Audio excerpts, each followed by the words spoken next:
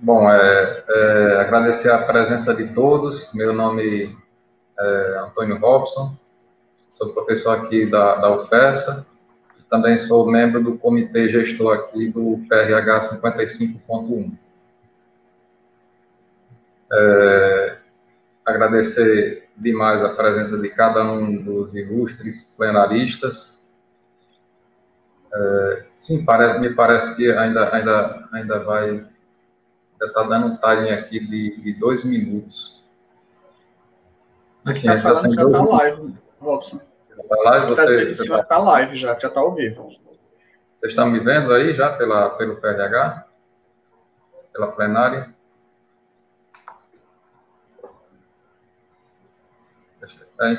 Vamos lá. Bom, é, falar um pouco sobre é, o currículo do, dos ilustres aqui.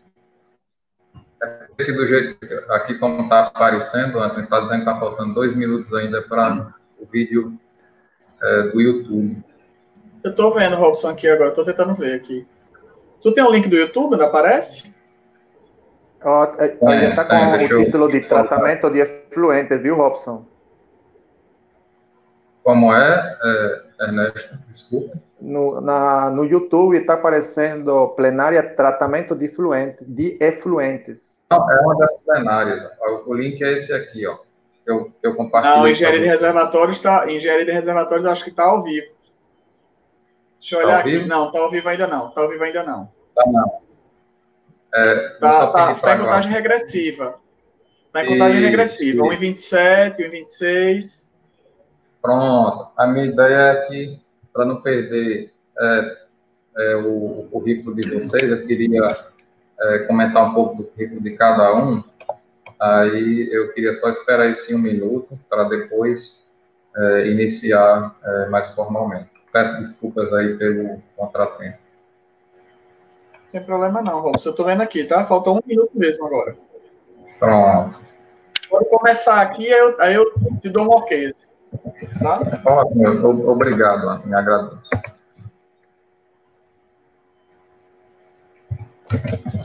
Tá aqui uma mensagem aqui no. no... Acho que tá para começar.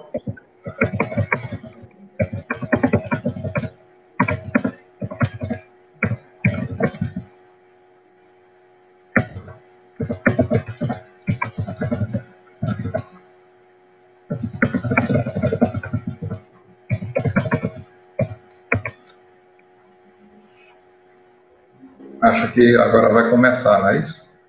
Estou esperando aqui.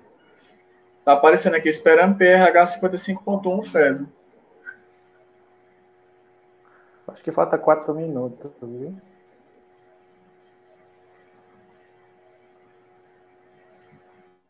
Deixa eu atualizar aqui.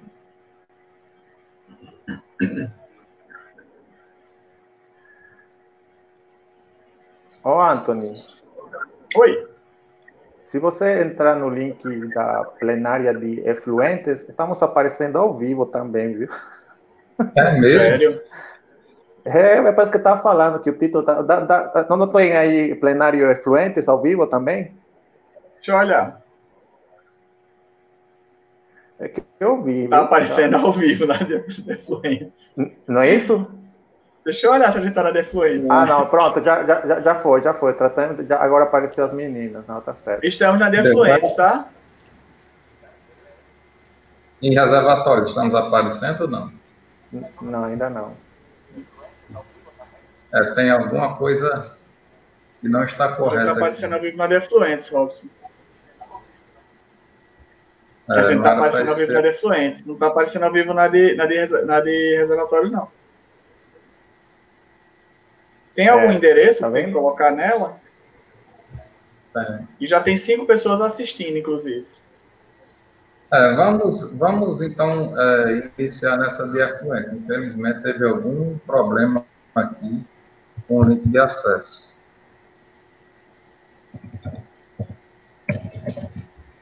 Aí o pessoal que entrar no reservatório não vai conseguir ver, né?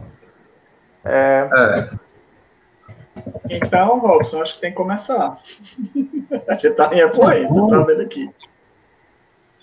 Ou coloca, ou coloca o link no YouTube aí, né, nesse canal de engenharia de reservatórios para acessarem. Deixa eu entrar no outro lá, porque eu consigo fazer, eu consigo entrar em todas as telas ao mesmo tempo. É. Bom, pessoal, é, então vamos, vamos iniciar nossa plenária. É, perdoem o contratempo aí. Eu vou começar a falar um pouco sobre o currículo de cada um.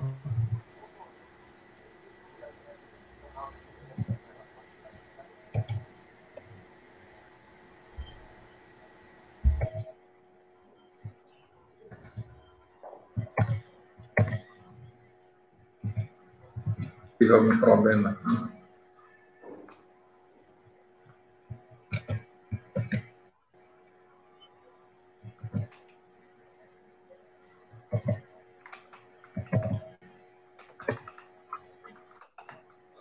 Aparecendo de afluentes. Eu acho que tem que colocar algum link, Robson. Diferente. O de reservatório não está aparecendo mais para mim, não. Está aparecendo para você, Ernesto?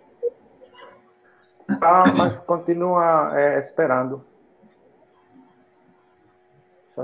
Acho que tinha algum link para colocar aí, Robson. Era, eu vou, eu vou eu, só um instante, eu vou ver se eu consigo contornar isso. Bom, vamos fazer o seguinte. É, deu esse problema, mas não tem problema. A gente vai. A gente pode é, continuar com essa plenária mesmo. Então, é, agradecer a presença de cada um de todos. Eu gostaria de é, agradecer também a presença de todos os que estão nos assistindo. É, gostaria de apresentar uh, o engenheiro de reservatórios, doutor Abel Gomes é, de Lins Júnior. Ele é engenheiro de reservatórios há cerca de 37 anos, de Petrobras, tem experiência e expertise em recuperação avançada de petróleo, é, muito obrigado, professor, pela presença, né, por ter aceitado o convite. Gostaria de agradecer também ao professor Antônio Andrei Ramalho Diniz, professor da Unifesp, também doutor em Engenharia de Petróleo. É, agradecer também ao professor doutor Ernesto Vargas é, Bautista, engenheiro de reservatórios da Petrocinergy, é, pela presença, por ter aceitado o convite. Tem mais de nove anos de experiência também no gerenciamento e produção de reservatórios.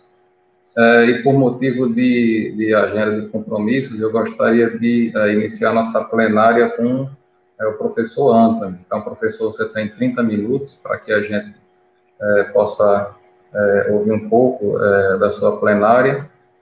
depois, o professor Abel, e em seguida, é, o doutor Ernesto.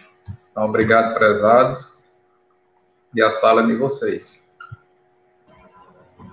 Quero agradecer o convite da UFESA, na, na pessoa do professor Robson, né, para estar aqui conversando com meus colegas tão ilustres, o, o professor Ernesto, o professor Abel, com quem o professor Ernesto já teve a oportunidade de receber aqui numa, numa plenária nossa, e o professor Abel ainda não, mas espero ter a oportunidade em breve, tá? A minha tela já aparece para vocês.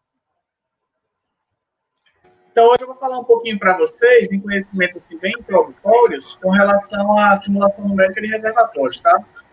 Então, é, minha ideia hoje aqui é provocar um pouco e depois bater um papo com os colegas sobre a mediação do professor Robson para a gente poder discutir é, limitações, vantagens, benefícios da, da simulação numérica de reservatórios. Outra coisa que é importante falar para vocês é que é, preferi não dar nome a nenhum software, tá? Então, preferi falar sobre o processo de simulação como um todo.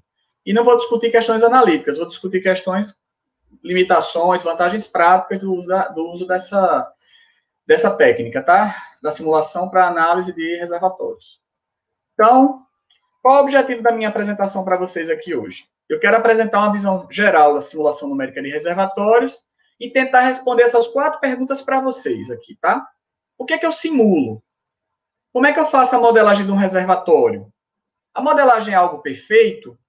E quais as aplicações que eu posso ter para simulação numérica? Então, vai ser algo com enfoque bem, realmente bem prático mesmo, para despertar em vocês é, ideias sobre o assunto, vendo vantagens, vendo limitações e possíveis aplicações. Mas também já vou antecipando para vocês que o professor Abel vai falar sobre métodos de recuperação avançada, então ele vai se deliciar com o que eu vou passar aqui para vocês, tá? Eu não posso fazer o que eu vou discutir com vocês aqui sem considerar o que o, o professor Ernesto vai falar para vocês, né, sobre a parte de poço, né? Que o reservatório ele não é um sistema isolado do mundo, né? Que vai fazer essa conexão dele com as facilidades de produção vai ser o poço. Então, se não houver um poço bem feito, não adianta ter o melhor reservatório com o melhor óleo, né? Você não vai ter o aproveitamento dessa ideia. Então, por que, que, eu, por que, que eu simulo? Por que, que eu vou simular? Vou dar para vocês aqui vários bons motivos, como estou escrevendo aqui. Primeira pergunta que eu faço: todo poço que eu perfuro produz hidrocarboneto? Não, né, gente? Muitas vezes o geólogo vai lá, vê uma área, dá ele, porque nós sabemos que a geologia ela dá indicações de lugares onde você pode perfurar um poço. Mas aí, se vai ter óleo, é uma coisa. Se esse óleo vai ter uma boa qualidade, é outra coisa. E se ele vai ter uma quantidade comercial, é uma outra coisa, tá? Outra coisa, eu posso perfurar esse poço em qualquer lugar? Não, né, gente?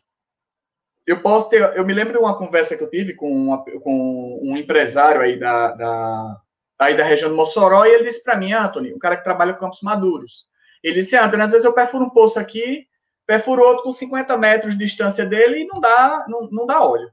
Então, às vezes você tem, tem óleo no ponto e outro ponto muito perto você não tem. Você pode ter uma barreira no meio, né? Um evento geológico que provocou uma barreira lá no meio. Outra coisa, quanto tempo eu levo para perfurar um poço para começar a produzir?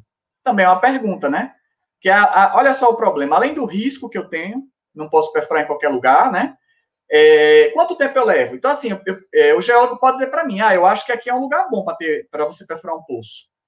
Dependendo da complexidade, eu posso levar dois meses para perfurar esse poço. Ou mais, né?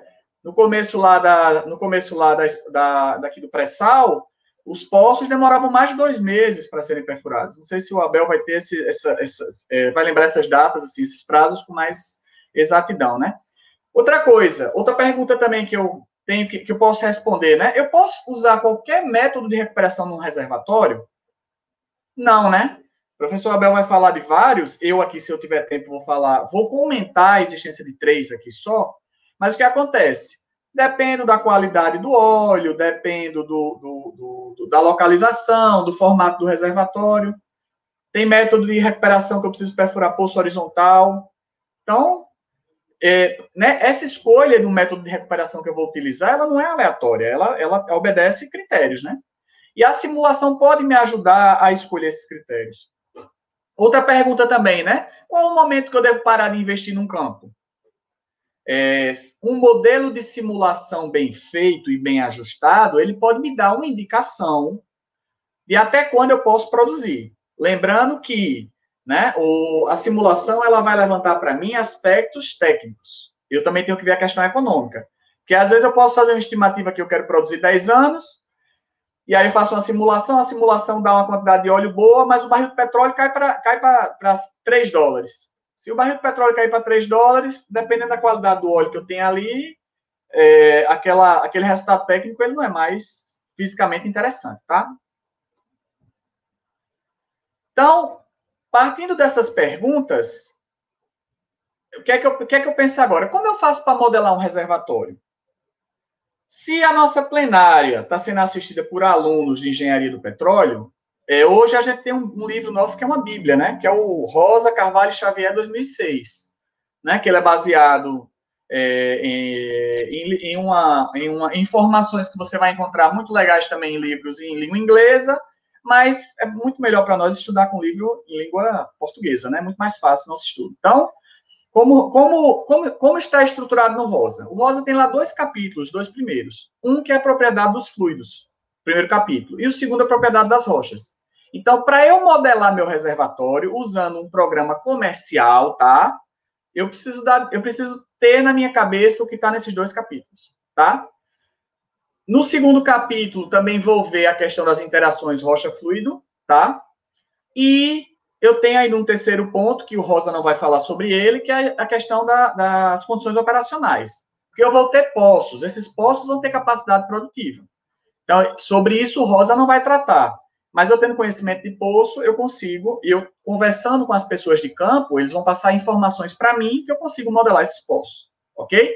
Então, vou precisar desse, desse conjunto, desse, desses três conjuntos de informações, certo? Capítulo 1, 2 do Rosa e mais um conjunto, mais um conhecimentozinho de poços. Fluidos. Então, o que é, que é interessante para mim? Lá no começo, quando eu perfurar meu primeiro poço e eu alcançar minha zona de óleo, eu colher uma amostra desse óleo, tá? Com essa amostra de óleo, colhida lá em condições de reservatório, né? O mais, o mais próximo, alinhado possível com a zona produtora, eu levo essa amostra para a superfície, levo para o laboratório, tá? Eu colho ela numa, numa, numa célula especial, né? Para ela não sofrer interferência, não contaminar esse fluido levo para o laboratório. Primeira coisa que eu posso fazer é uma cromatografia. Com a cromatografia, eu vou, eu vou dependendo do, do equipamento, da resolução do equipamento, eu vou levantar as características desse óleo. As, vou ver quais os componentes que estão presentes neles, nesse óleo. Nesse óleo ou nesse gás, né? Porque eu, quando eu falo de hidrocarbonetos, ele pode ser um reservatório de óleo, quem estudou reservatório sabe que lá em cima eu posso, eu posso chegar com 100% de óleo ou com as duas fases em equilíbrio, né? Então, com, com a cromatografia, eu vou caracterizar o meu, vou, vou descobrir o que está presente no meu óleo. Depois eu vou fazer dois ensaios, que é, o, que é a liberação flash e a liberação diferencial, que também estão lá mencionados no rosa. Com a liberação flash e a liberação diferencial, eu vou levantar essas curvinhas.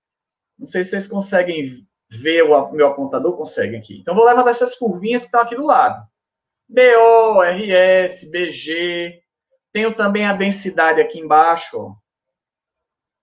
E eu tenho aqui uma característica que é muito importante, mas para quem está aí em cima no Nordeste, ela é mais importante do que para quem está aqui embaixo, que é a questão da viscosidade, só que aqui eu estou colocando ela em relação à pressão.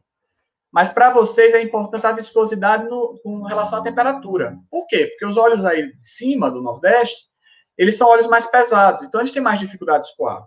Esse aqui, ó, esse meu óleo aqui, ó, ele tem 8 CP nessa condição inicial aqui, ó, de viscosidade. Então, a viscosidade é muito boa, tá? Então, aí em cima vocês vão ter óleos muito mais viscosos que isso, que vão ter muito mais dificuldade de escoar. Outro, outro ensaio importante de se fazer é levantar o envelope de fases dessa mistura, tá? Porque o envelope de fases, dependendo do ponto de pressão e temperatura que eu tiver, eu vou saber como a minha mistura vai se comportar, se ela vai ser 100% líquido, se ela vai ser líquido com gás.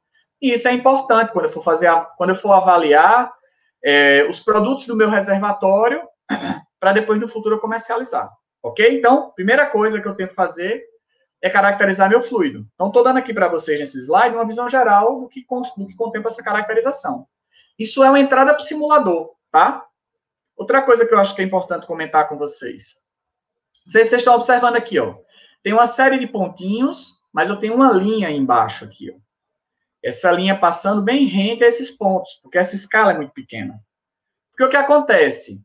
Você não faz um ensaio em laboratório ponto a ponto muito próximo, porque isso tem um custo e isso leva um tempo.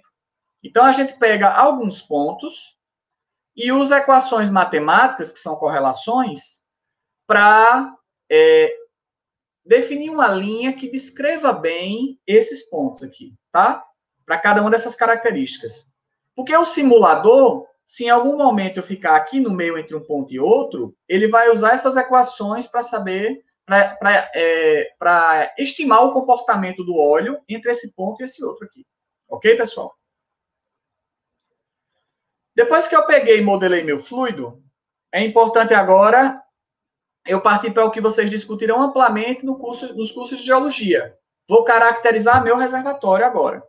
Para eu caracterizar meu reservatório, posso usar perfis, posso usar, é, coletar plugs durante a perfuração e levar esses plugs para o laboratório, para fazer ensaios para estimar porosidade, permeabilidade, a permeabilidade de todas as direções, tá? Então, vou, vou ter que fazer uma caracterização dessa minha rocha reservatório, utilizando aquelas técnicas lá que vocês discutem amplamente na geologia. A questão aqui é, o, por incrível que pareça, o momento em que você mais conhece o seu reservatório é o momento que você abandona ele. Porque cada poço que você perfura, ele traz um conjunto de informações. Então, assim, quando você perfura um poço só e você faz o primeiro modelo de reservatório seu, ele vai ser um modelo de reservatório muito grosseiro. Porque um poço só, ele não vai dar informação suficiente para você, você fazer um modelo bom. Outra coisa, né? Se for um arenito, o arenito a gente sabe até que é uma rocha mais comportada. Mas se for, por exemplo, um reservatório carbonático, aí, gente, que um poço só não vai dizer quase nada sobre ele, tá? Porque o carbonato, ele é, ele é pouco comportado, digamos assim, no popular, tá?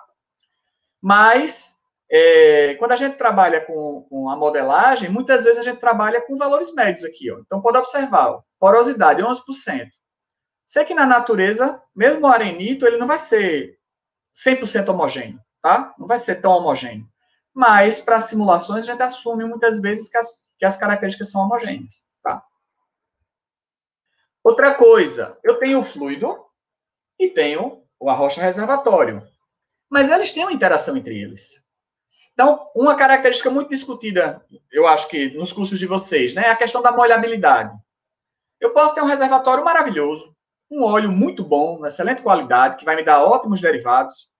Só que aí, por um azar do destino, esse óleo, é, é, esse óleo ele é molhável à rocha. Essa rocha é molhável ao óleo mais do que a água, por exemplo. Então, ela tem muito mais afinidade com o óleo. Então, quando eu colocar uma diferença de pressão, a água vai fluir muito mais fácil que o óleo. E o óleo vai tender a ficar agarrado na rocha. Agarrado entre aspas, né? Assim, aderido à rocha. Então, eu tenho uma condição aparentemente excelente. Mas essa afinidade entre o óleo e a rocha, que eu tenho como mudar isso, o professor Abel vai falar sobre isso para vocês também, provavelmente. Então, assim, mas num primeiro momento, essa, a água, é, eu vou, o escoamento da água vai ser muito mais fácil do que do óleo. Então, se eu não fizer nada, eu vou produzir muita água nesse reservatório, mas eu não vou, não vou ter tanta eficiência para drenar esse óleo que está lá. Então, essas curvas vão me dar vão expressar para mim essa caracterização dessa afinidade do óleo com a rocha. Outra coisa também é a pressão capilar, né? Que a pressão capilar, ela vai quantificar para mim o efeito das gargantas de poros e essa zona de transição aqui, ela vai ser tanto maior quanto for essa pressão capilar, tá? Então, no reservatório ideal, né, que eu não vou encontrar ele na natureza, a minha pressão capilar seria nula e eu teria uma transição entre zonas aqui perfeita. Embaixo só água, em cima só óleo. Só que na natureza a gente sabe que não é assim, né, pessoal? Então, a pressão capilar vai quantificar para mim esse efeito, por exemplo, tá? Então, eu tenho, caracterizei meu fluido, caracterizei minha rocha com o pessoal da geofísica e da geologia, e é, também caracterizei a afinidade, a, é, a, interação do óleo com a rocha, né? A, que pode ser a molhabilidade, pode ser a pressão capilar, é, a mudança na permeabilidade com relação à saturação de um outro fluido. Acabou? Acabou meu modelo? Não, né? Agora eu vou pensar no professor Ernesto. Preciso saber das características dos meus poços, tá? Então, grosseiramente falando, eu tenho aqui, ó, é, uma, uma, caracterização mínima aqui, aqui, que eu posso colocar no simulador. São as vazões máximas de líquidos, a pressão mínima que eu vou ter que definir para aquele poço parar de produzir, né? Que uma, um pensamento grosseiro que eu posso ter é o peso da coluna de líquido que eu vou ter naquele poço, tá? É um, é um pensamento grosseiro que eu posso ter, assim, uma quantia, uma, uma, uma quantidade para ter na cabeça, né? A distância entre os poços, a região desses poços que vai estar aberta, né? Para o meu, para minha zona produtora, que é essa região completada, e a pressão máxima em poços injetores, quando eu tiver poços que injetem. Tomando cuidado, pessoal, porque é, a minha, a minha, minhas rochas podem fraturar, né? Então a pressão não pode ser muito alta. E de olho no tempo aqui, senão vou me perder com esse tempo. É, outra coisa também, ó, o arranjo dos poços. Estou usando aqui um five spot, tá? Então isso também é importante, é, tem que ser definido no começo. Então agora eu estou com o meu sistema completo. Outra coisa que, eu, que a gente pode discutir aqui, a modelagem ela é perfeita? Não, ela não é perfeita, tá, pessoal? Eu vou ter incerteza na caracterização dos fluidos, vou ter incerteza na caracterização dos reservatórios, que eu já comentei com vocês. Com, com um plug tirado de um poço só, eu não vou ter conhecimentos, muitos conhecimentos sobre um reservatório. E eu posso fazer um ajuste de histórico para fazer um ajuste melhor nessas, nessas quantias, nessas variáveis, para tentar reproduzir o máximo possível é, o comportamento do meu, o meu modelo reproduzir o máximo possível o meu comportamento em campo. E aí eu tenho um dilema. Quanto maior a exatidão, mais eu vou ter demanda por recursos computacionais. E aí eu trago um exemplo para vocês, que é esse refinamento de malha. Tem aqui, ó, um, uma malha com 190 mil blocos, várias malhas intermediárias e uma malha com 5.175 blocos. Então, ó, quando eu faço a simulação, olha lá em cima, pessoal, o óleo acumulado. Diferença mínima entre eles. Então, aquele modelo mais refinado, ele vai ter muito tempo computacional demandado. Então, eu vou trabalhar com, tempo, com um modelo intermediário aqui, ó. Leva, leva quatro horas para simular. Por quê? Porque não adianta eu ter um modelo muito refinado quando eu vejo que os resultados, a diferença de resultados aqui, ó, é mínima, tá? E aí, quais as aplicações que eu posso ter dessa tecnologia, né? Então, eu trago para vocês três aplicações. O professor Abel vai falar sobre mais aplicações, claro, provavelmente, né? Então, processos térmicos. Como é que acontece? Qual a vantagem do processo térmico? Quando eu aqueço o óleo, a viscosidade dele reduz. Então, se eu usar técnicas para aquecer meu óleo, ele vai escoar com mais facilidade. Então, uma delas é o aquecimento eletromagnético, tá? Só que no simulador que eu usei, ele é bom para simular o resistivo, que é o da frequência mais baixa, tá? Como funciona ele? Eu coloco dois poços, eu perfuro no mínimo dois poços e coloco uma diferença de potencial entre eles. Vai haver uma corrente elétrica na água, né? Porque a água tem eletrólitos. Essa corrente elétrica vai aquecer esse, esse meio e esse meio vai transferir calor para o óleo. Ou seja, ele vai ficar mais, ele vai aquecer, vai ficar menos viscoso, vai, vai escoar mais. Então, ó, como é, um, como é um, uma técnica de, de é peculiar, né? Então eu tenho que já trazer para esse modelo também a resistividade da água. Que quando eu falei para vocês lá atrás sobre a simulação, eu não falei sobre isso, porque naquela situação geral eu não precisava dessa grandeza. Agora aqui eu já preciso.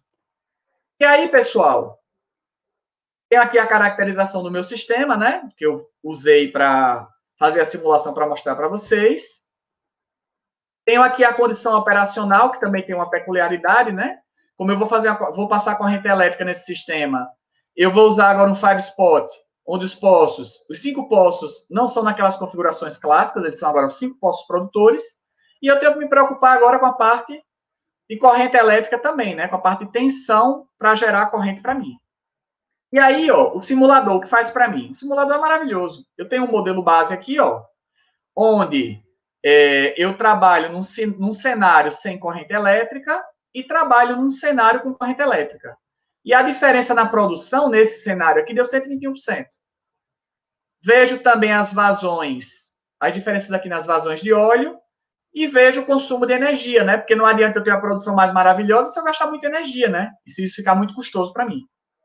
Eu posso ver também um pouco sobre o comportamento do meu sistema, ó, como, a, como a viscosidade vai ser alterada naquele reservatório e como a temperatura vai aumentar.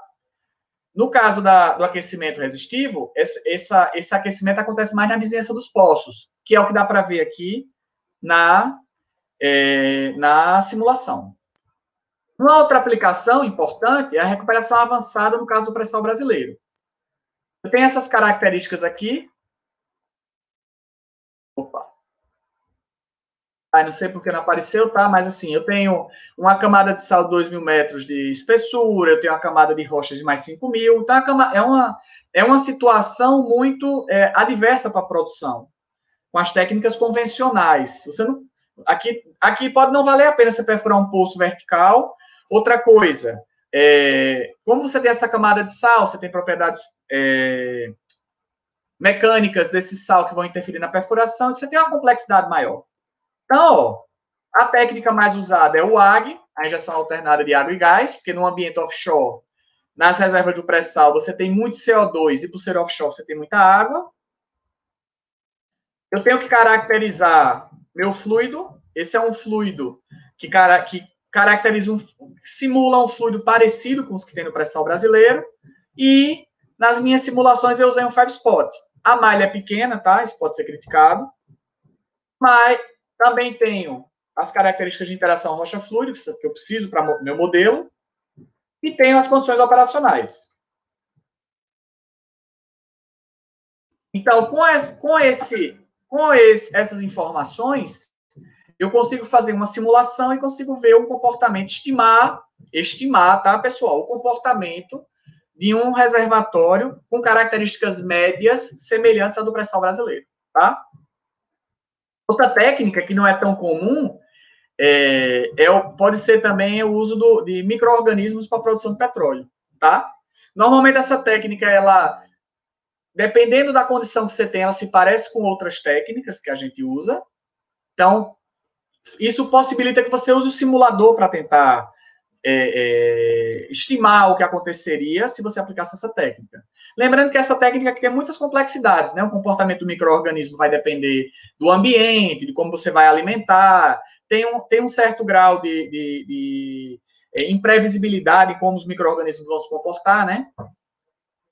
E um dos efeitos que a gente pode trabalhar é a questão da molhabilidade, tá?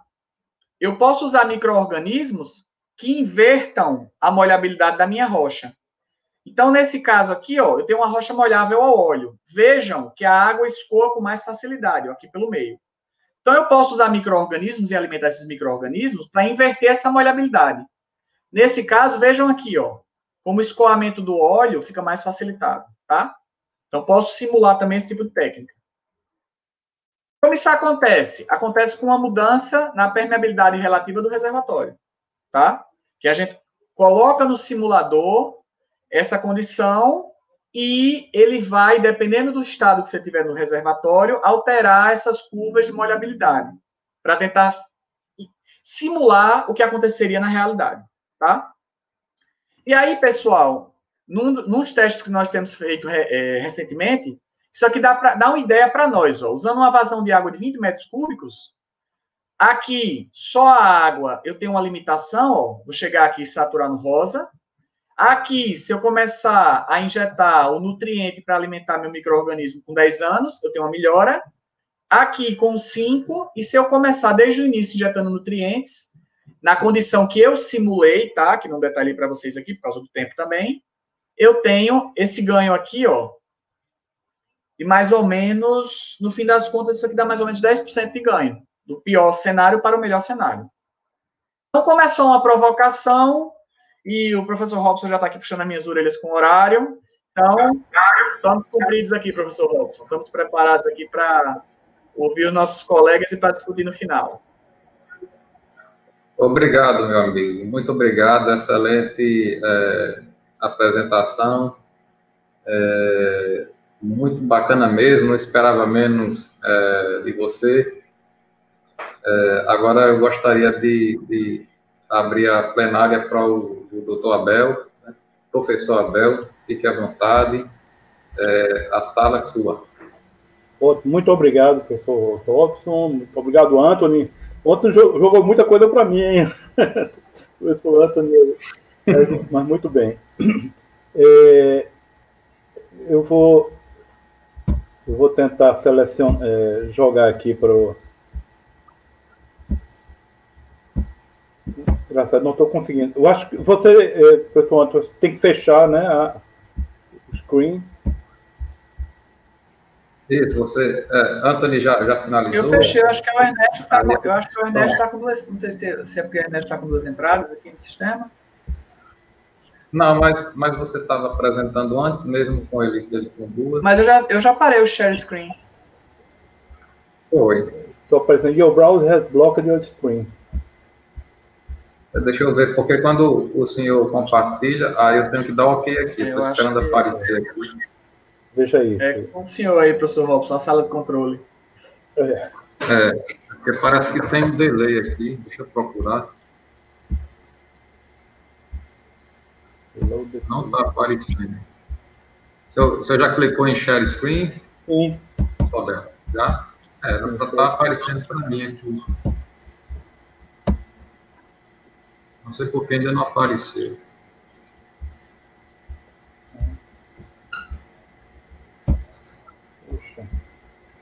Eu tá com algum delay aqui que ele não está aparecendo.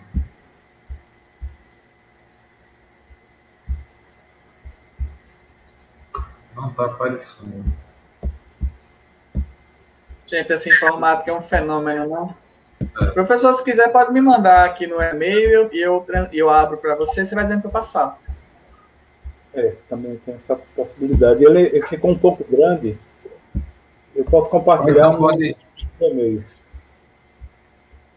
É, Ou então talvez... a gente faz o seguinte, a gente podia inverter, né? Então, Ernesto apresenta e aí a gente, a gente resolve, resolve seu, a questão aqui paralela. Isso. Pode, pode ser, professor Abel? Pode ser, sim, claro. Obrigado, viu? Desculpe o transtorno. É, Ernesto, é, prezado, você, você pode começar? Posso deixar, então, aqui compartilhar.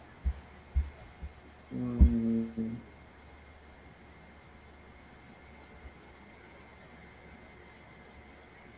Aqui temos o professor Frederico, ele entrou aqui para nos auxiliar se tiver algum problema aqui. Ah, Ernesto, está aqui, Ernesto. Pronto, deu Ernesto, só não deu ok. Ok, isso aqui só. É, professor Frederico é o coordenador do RH. É, Bom, pessoal, Ernesto, é... oi, oi, Robson, pode falar. Desculpe, é, meu amigo.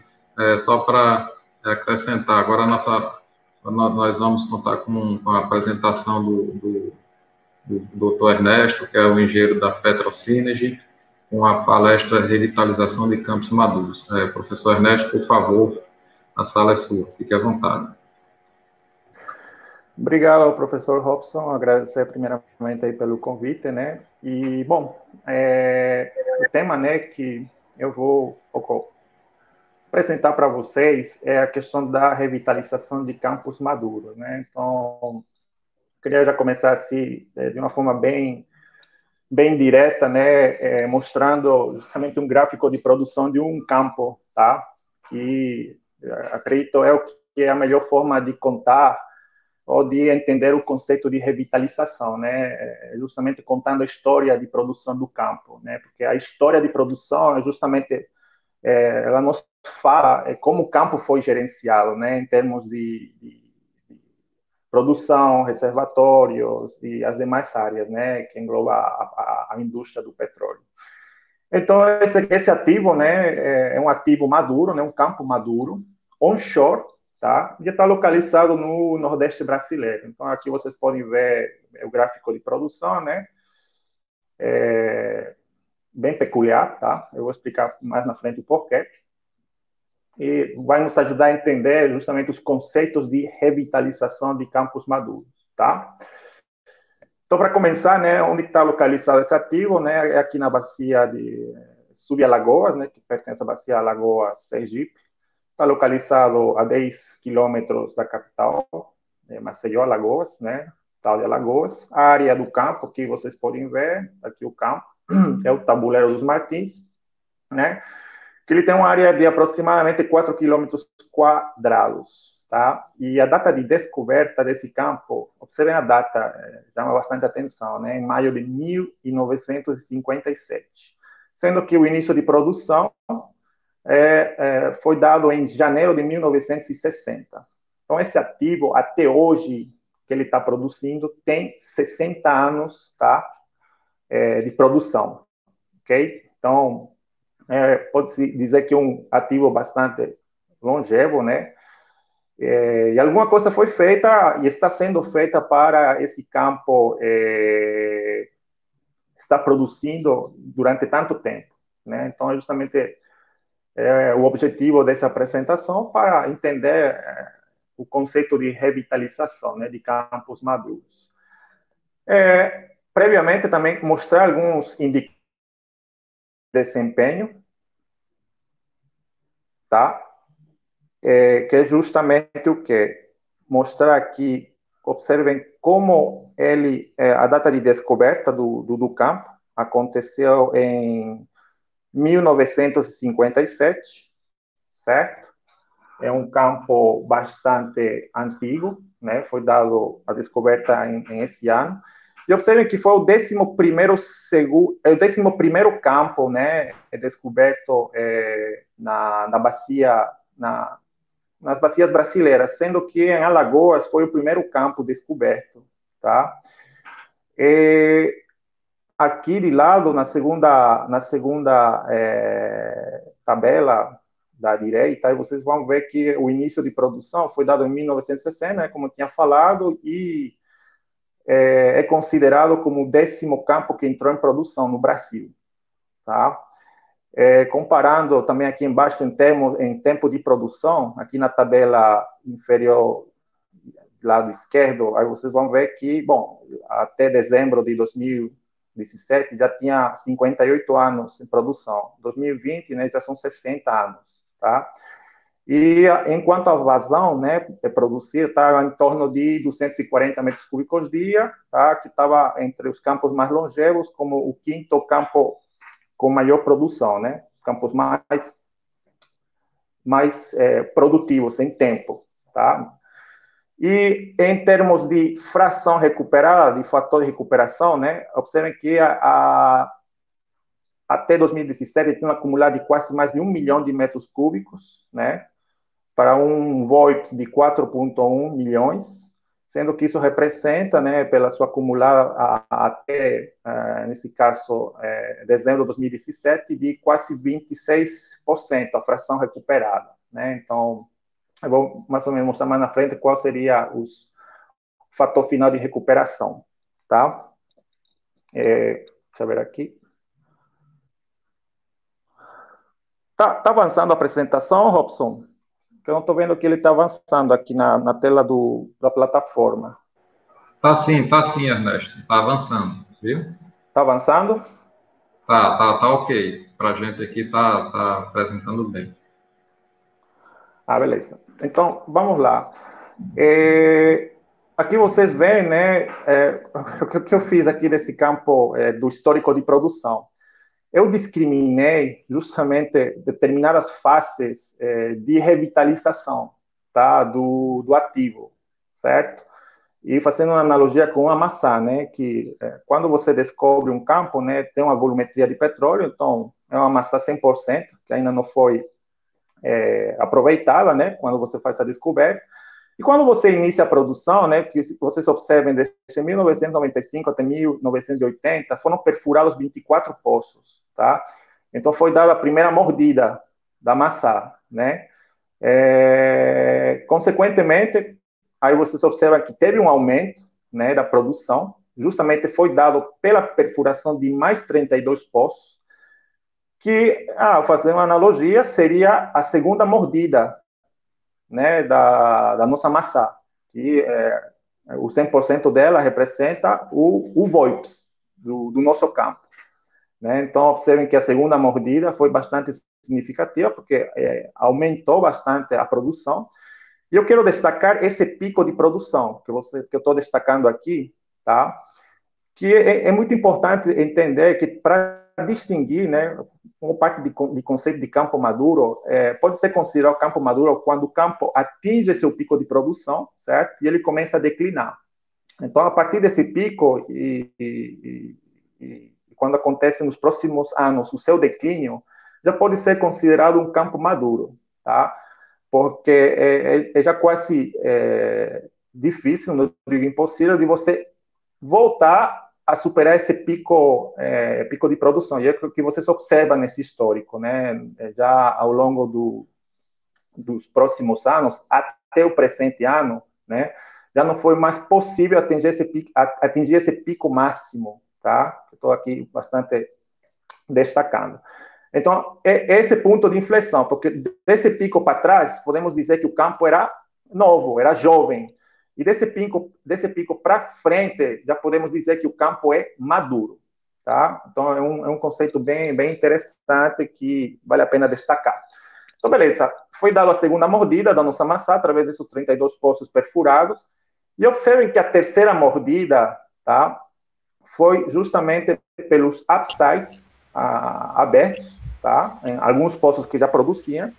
E também tem é, a abertura, né, a reentrada é, de poços parados, tá, que voltaram a produzir. Porque se vocês observam, né, é, o, o campo na, na, segunda, nessa segunda, nessa segunda fase, tá, ele estava um franco, franco declínio. Só que observem que aqui já o declínio quase se mantém zero, né? A, a curva de produção se mantém quase constante, tá? Então foi feito alguma coisa, desde um ponto de vista técnico, né? Para poder manter essa curva é, com um declínio quase zerado, né? Do que estava antes, tá? Então, é, justamente essa questão de upsize e poços parados tá? Representa a nossa terceira mordida da, da nossa massa, tá? Então, que alguns, alguns é, operadores, pode ser que até, até a segunda mordida ou terceira, já preferem descartar ou desativar o campo, né? Então, é, é às vezes é interessante poder é, aproveitar para entregar esse tipo de ativos para outras operadoras que talvez possam, possam aproveitar ainda o que resta da massa, né? E observem que aqui a quarta fase que eu estou destacando aqui em vermelho foi dada pela secundária injeção de água, tá? que eu vou mostrar mais na frente. Então, que seria justamente a nossa quarta mordida. Então, observem que interessante, né? A cada, a cada é, fase que eu fui desenvolvendo para poder revitalizar o campo, né? Eu fui aproveitando, à medida que é, foi possível, tá? Toda, toda a reserva, ou todo o volume em place que tinha no, no no reservatório desse ativo, tá? Então, vamos lá. Fazendo, representando que a maçã, né, antes de ser é, mordida, representa o 100% do nosso volume.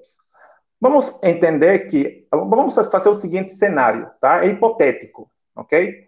O que houvesse acontecido se nessa primeira, é, nessa primeira fase, né, não, não houvesse perfurado esses 32 postos adicionais, então, observe que é, com os 24 que tinham sido já inicialmente perfurados, o campo estava em franco declínio, tá? Estava declinando, declinando, declinando, até que, estou falando de uma questão hipotética, chega aqui uma produção que já não tem mais o que entregar ao campo, tá? E se houvesse abandonado esse campo, só houvesse aproveitado 6% do total, tá? Agora, como foi feita a perfuração de mais 32 poços, observem que a curva de produção melhorou substancialmente, né? expressivamente, na verdade, e se houvesse deixado o declínio continuar, como vocês observam aqui, até um determinado período, o fator final seria de 22%. Né? Olha, em termos de, de, de, de produção acumulada, se houvesse, não houvesse perfurar os 32 poços, houvesse produzir em torno de 300 mil metros cúbicos dia. Com a perfuração desses é, 32 poços a mais, né, eu consegui obter ou atingir um acumulado de quase um milhão de metros cúbicos né, é, de, de óleo, enquanto a, a, em termos de acumulada. E observe a, é, a terceira fase, olha que interessante, aplicando já esse tipo de declínio nessa parte antes de aplicar a secundária, tá? que foi a produção antes de, de realizar a secundária, né?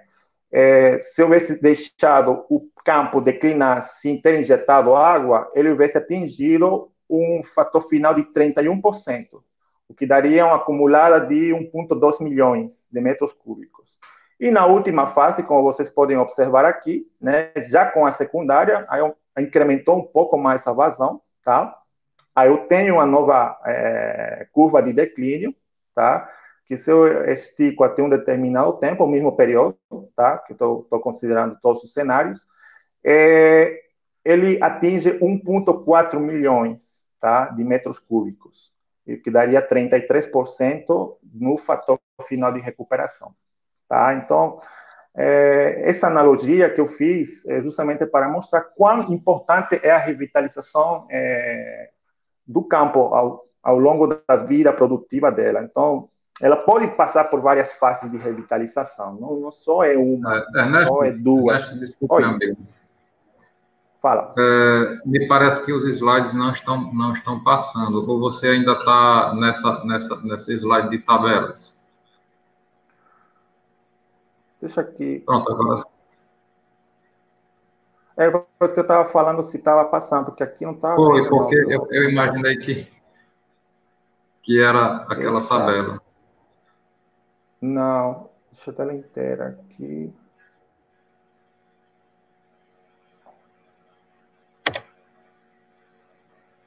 Já foi? Ah, pronto. É, eu... é esse slide que você circulou de tabela? Não, eu passei pronto. por esse aqui. Sim. Ah, você. Sim, sim. Pronto. Fique à vontade. Se você quiser, se você quiser fazer um, uma, um resumo do que você acabou de explicar, é, não tem problema, viu? Pode passar um pouco mais de tempo devido a essa questão.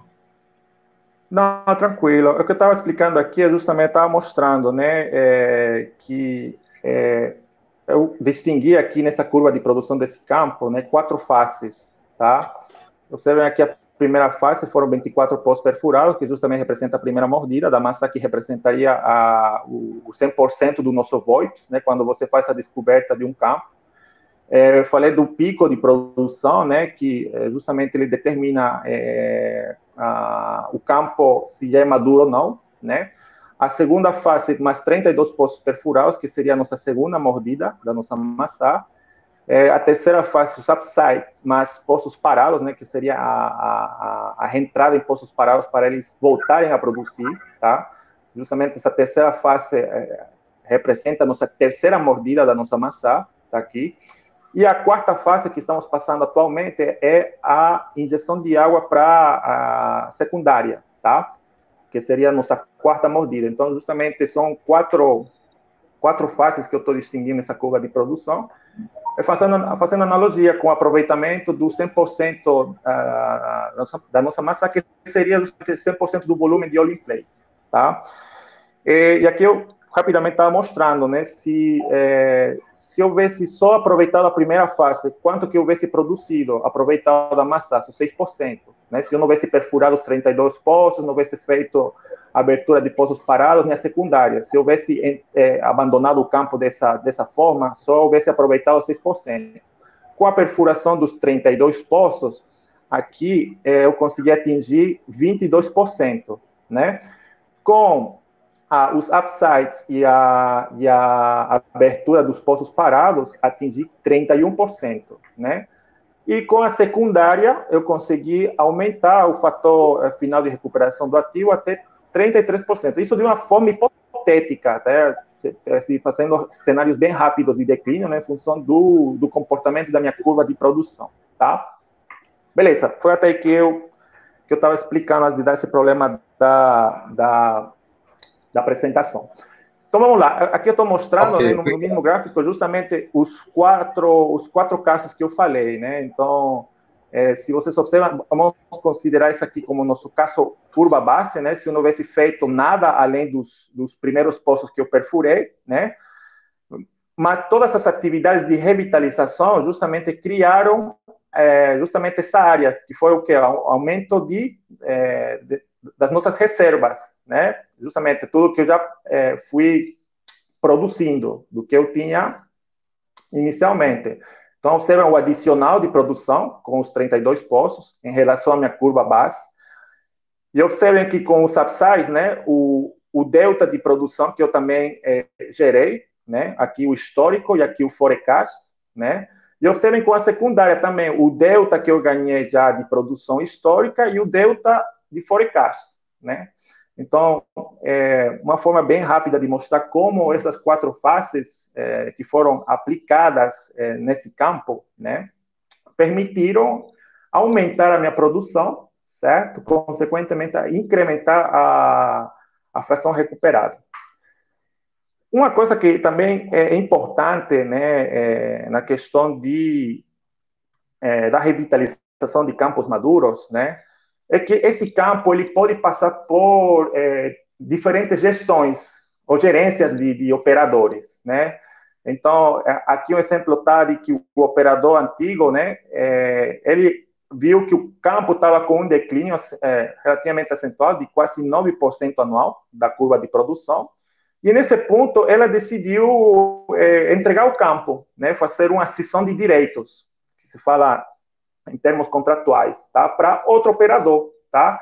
Então, esse outro operador, ele entra com um novo olhar, que justamente é importante, é, é, faz parte tá, da questão da revitalização, porque é, esse ativo que estava sendo gerenciado por um antigo operador, que fez um, um trabalho muito bom, tá, que vocês observam aqui como ele incrementou a, e atingiu o pico máximo, tá?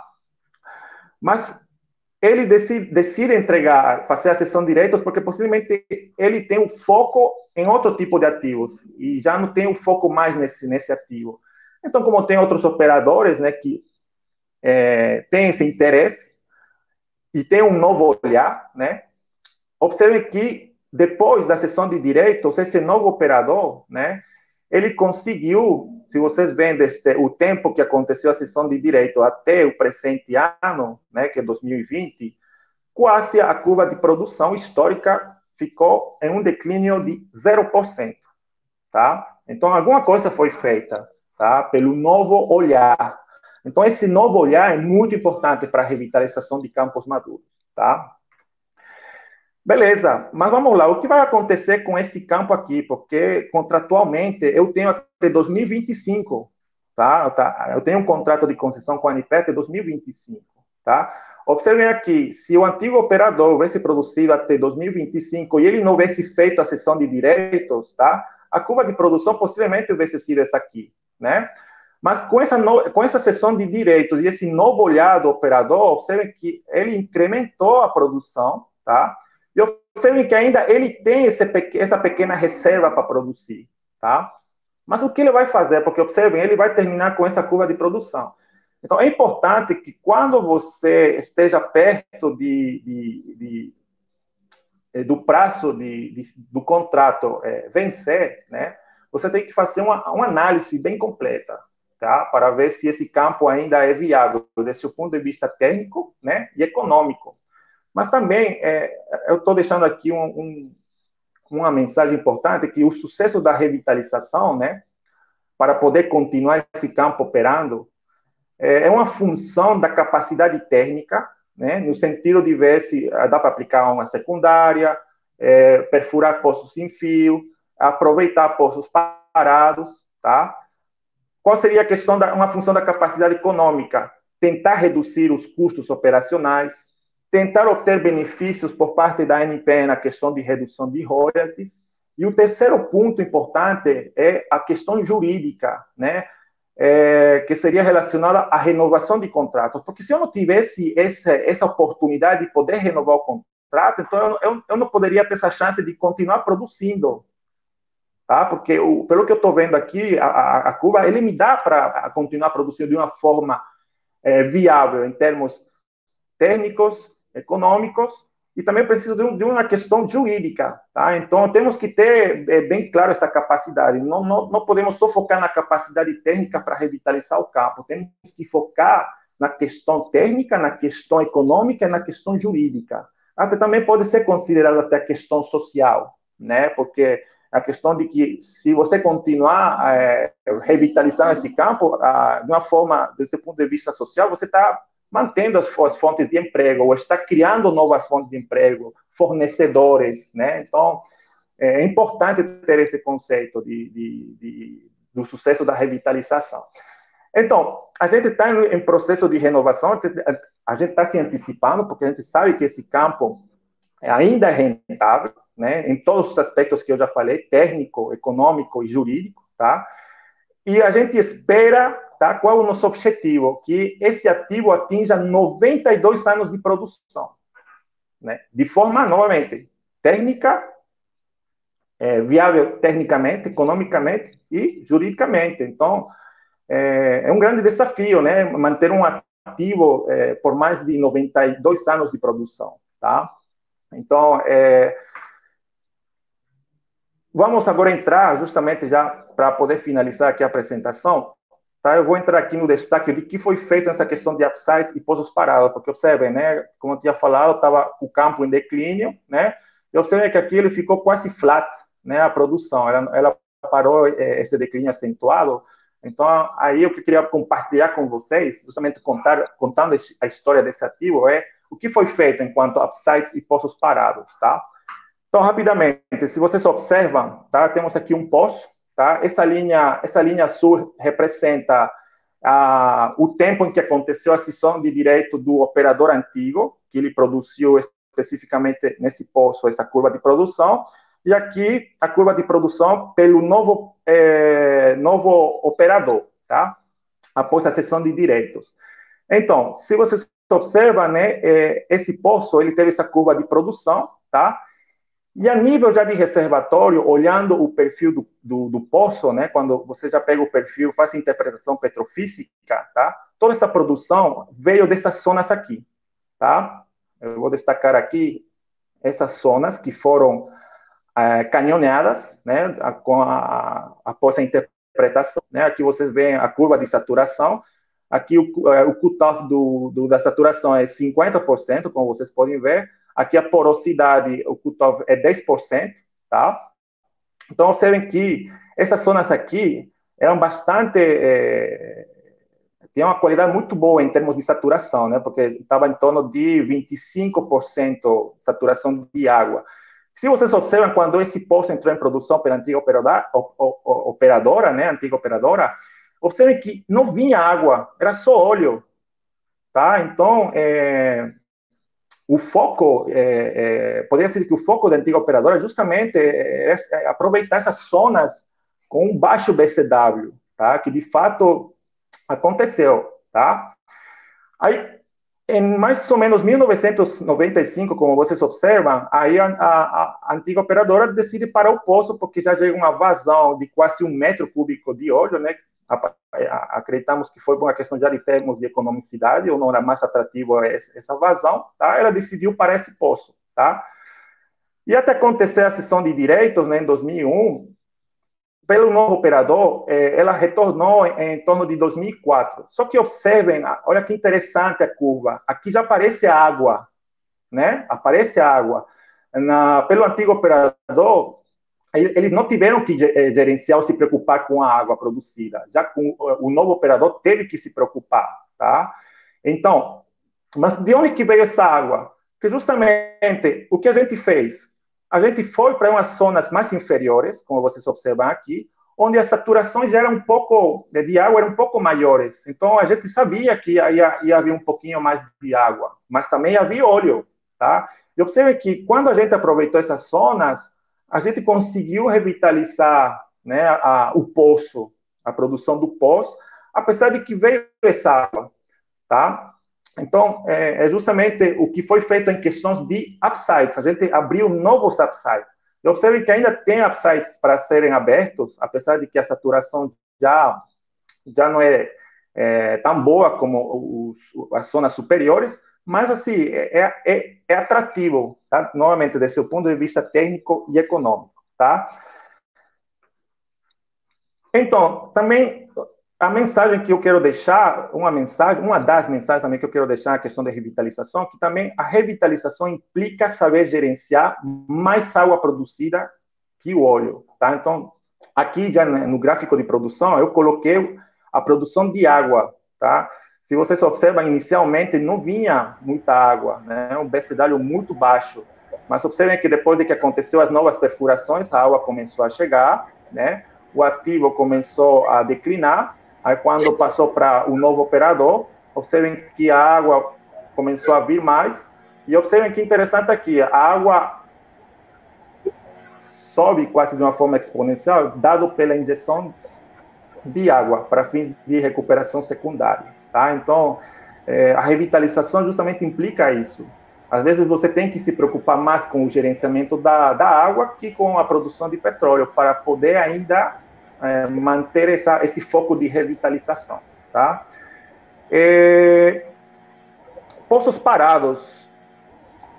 O que foi feito na questão de poços parados? Justamente, né, como eu tinha mostrado aqui, esse, esse poço é, estava sendo prestes a ser abandonado. Por quê? Porque o campo está dentro de uma zona urbana e às vezes a, a população, os vizinhos queriam que essa área já seja, seja aproveitada para construir uma praça pública, enfim, né? Então, é, a, a, a, pressão era tanta, né, que a, a, antiga operadora, né, quase fez esse trabalho de abandono, tá? mas por uma sorte, tá? É, o poço ainda se manteve, apesar de que esteve fechado, se manteve a locação ativa, né? E quando veio a, a, nova operadora, ela conseguiu aproveitar e, portanto, assim como o poço está em produção, então a comunidade já não tem mais o que reclamar, né? Porque está se gerando é, royalties, né? É, e receita, tanto para a União como para a própria operadora, tá? Vamos com a questão da secundária, tá? Só para finalizar. Eu estou mostrando aqui dois poços que foram influenciados, né? É, pela injeção de água, que é justamente a quarta fase de revitalização do ativo em questão. Então, observem aqui, né, como é, o óleo, né, que estava tava, tava se mantendo quase constante, ela, ele incrementa aqui. Está vendo aqui o incremento de óleo está bem nítido. Ele passou quase de 4 metros cúbicos, ele quase atinge um pico de 12 metros cúbicos. Então, um, um, adicional de produção bastante significativo, graças à injeção de água, né, para fins de recuperação secundária. Observem também esse poço aqui, né? Olha que, que interessante também a história desse poço. Ó. A mesma coisa que o, que o anterior poço, olha, ele estava com a produção só óleo, mas bem pouca produtiva, né? Iniciou com 6 metros cúbicos dia de óleo e foi abandonado com quase 2 metros cúbicos dia de óleo. É, e quando é, chegou na, nas mãos da, no, da, nova operadora, né, a operadora novamente abriu um novo subsite, observem que chegou um pouco mais de água, né, e observem que quando se injetou, é, se aplicou a, a, secundária, esse poço recebeu bastante influência de injeção, né, e conseguiu se revitalizar, né, o, o, a produção desse poço. Mas o mais interessante, gente, é que esse poço é um exemplo de que ele não tinha atingido a sua maturidade plena, porque observem, o pico de produção ele tinha sido superado graças à secundária, tá? Então, é, esse poço que estava é, drenando é, os reservatórios, justamente, o, o Robson. Robson? Sim, sim, sim, sim. Você me ouve? Olha, possivelmente vai cortar aqui, porque a energia caiu aqui é, em casa, viu, cara? Então, possivelmente vai cair a, a conexão. Tá? Tranquilo, tá? meu amigo. Sim, sim, com, sem problema. Eu estou percebendo aqui que a energia caiu, por isso que está nesse problema. Possivelmente aí vai... que pena, cara. Mas Tranquilo, só para vocês ficarem cientes, tá? Mas já estou finalizando, ah, tá? Sem problema. É, então, observem que Tá bom. Observem que, é, como foi incrementada a reserva desse poço que estava sem injeção de água, né, houve é, se atingido uma, um acumulado de 28 mil metros cúbicos, e graças à influência da secundária, chegou a quase 100 mil, né? Vai ter um acumulado final de 100 mil metros é, cúbicos, tá? É... Caiu, Robson. Ok, meu amigo, sem problema. Se você fique à vontade, se você quiser, a gente pode aguardar um pouco, ou também, se você quiser, a gente pode encerrar. Você me ouve ainda? Tô, tô te ouvindo. Pronto, o que é que você Não, acha? acho que a gente pode dar passo para o Abel. Se a energia voltar, eu consigo terminar depois, tá? Mas acho que o, eh, o Abel já poderia dar continuidade com a apresentação para não deixar parada aqui a plenária. Ok, sem problemas. Eu agradeço demais, excelente trabalho. É, professor Abel, acho que o senhor tem que. É, pronto, agora Deus. É, sua, sua, nós, nós estamos escutando. Sim, agora sim. É, sim, sim, sim. Estão me escutando agora? Eu vou tentar abrir aqui. É, só lembrando, prezados, no final a gente vai, vai, vai é, fazer as perguntas. Tecnologia facilita, ah, mas ela tem uma surpresa desagradável, né, professor Robson? É, é, isso é verdade. É. Agora, agora ficou, ficou, está é, compartilhando seu link, viu? É, sua, Se eu quer que eu remova para a apresentação pronta. Ah, eu coloquei aqui.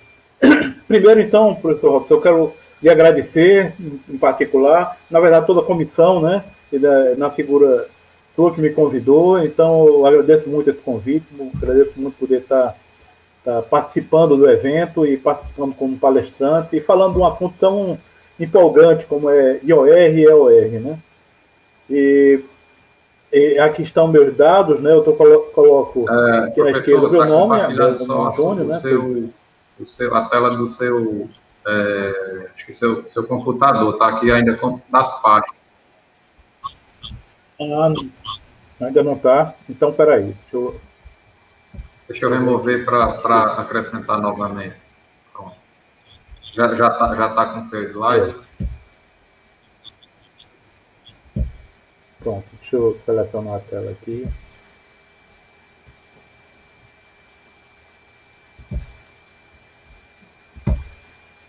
Agora foi, agora foi. E agora? É ótimo, excelente. Então, então pronto. Então, é, e, e, é muito bom também rever o, o professor Robson, né, que já, já conhecia aqui na, na conhecia aqui na UFRN, também o Anthony, o, o, Ernesto, muito bom, e muito boas palestras de vocês, viu? Fantástico. E esse assunto é empolgante, OR, EOR.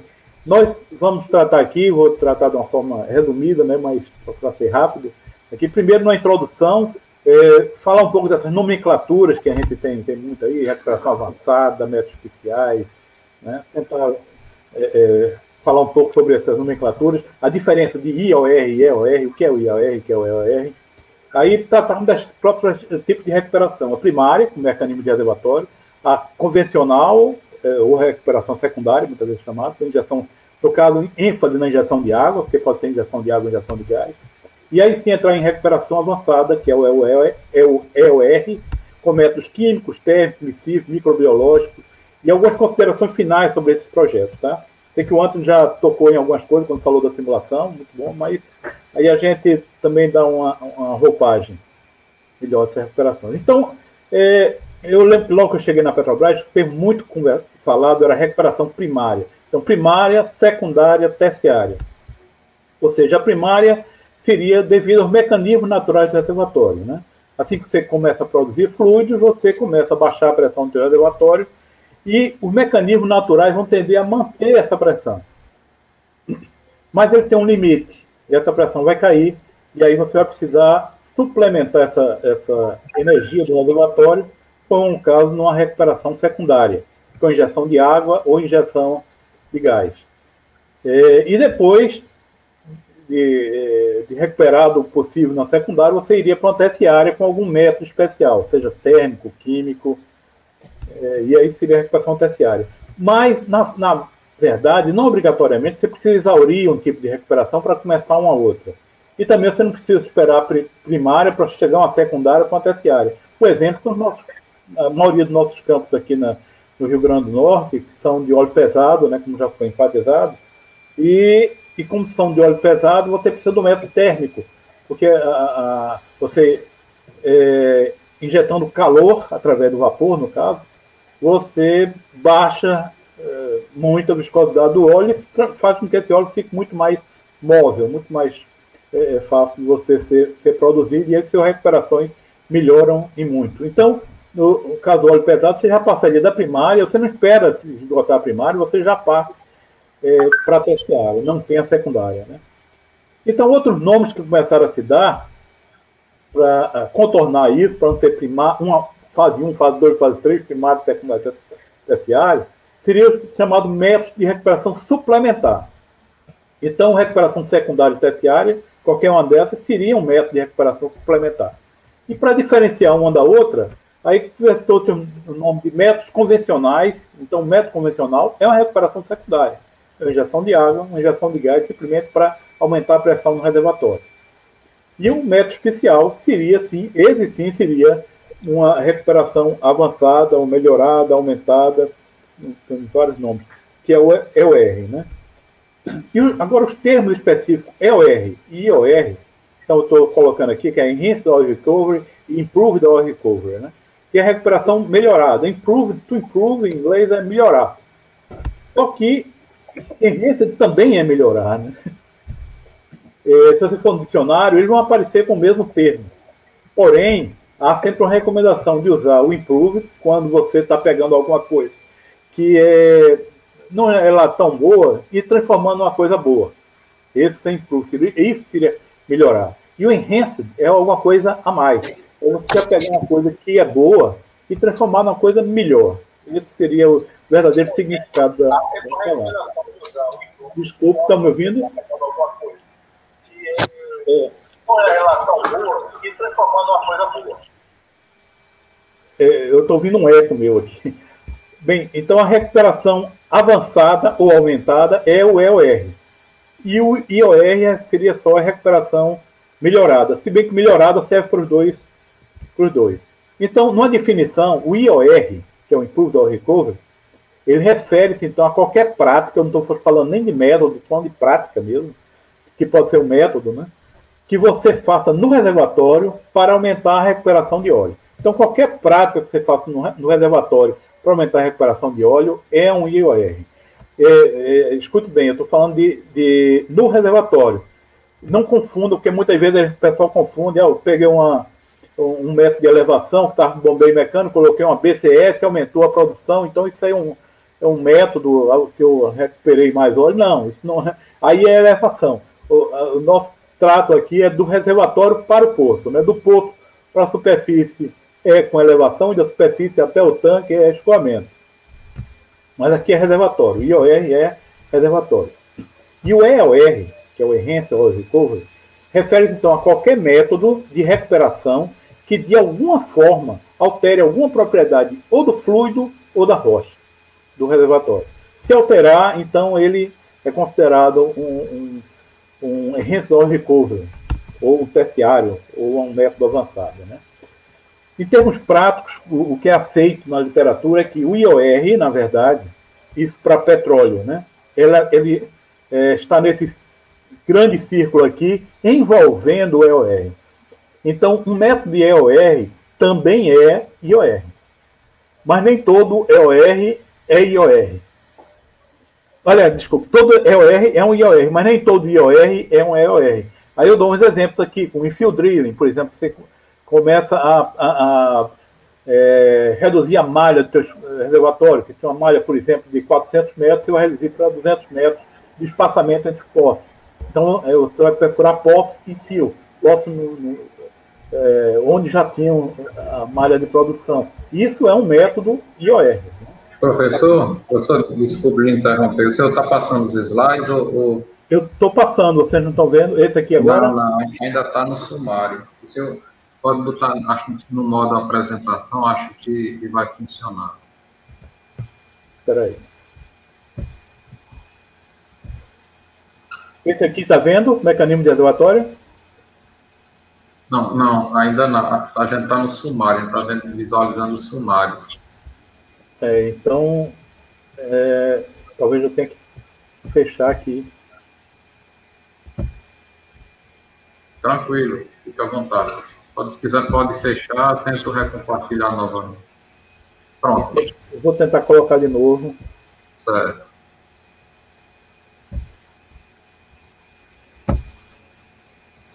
Aqui tem mecanismo de reservatório. Pronto, agora deixa eu agora tá em mecanismos de reservatório. Isso. Pronto, vamos ver se depois ele, ele, ele segue ou fica aí. Mecanismos de reservatório, então são é, é produção primária. Né? É aquela produção que você está usando a, a, energia do seu próprio reservatório. É, esses três são os três mecanismos mais clássicos. Né? Capa de gás, ou seja, você tem o um, teu reservatório, tem o teu reservatório de óleo, mas tem uma, uma capa de gás, tem uma, uma, uma, um grande volume de gás em cima. E à medida que você produz o óleo, o gás, que é muito compressível, ele se expande e mantém a pressão no reservatório. Ou seja, você não cai tanto a tua pressão no reservatório à medida que você está produzindo petróleo. É um bom mecanismo de produção, um mecanismo é, primário de produção. O outro é o influxo de água. O influxo de água é algo parecido, só que agora você não tem uma capa de gás, mas você tem um aquífero, você tem água embaixo. À medida que você produz o óleo, a tua água vai expandir. Agora, a água não tem uma compressibilidade tão boa quanto o gás, claro que não. É muitíssimo menor. Ordem de grandeza menor, assim como o óleo também. Mas à medida que você produz, você tem um verdadeiro oceano, um, verdadeiro mar ali embaixo.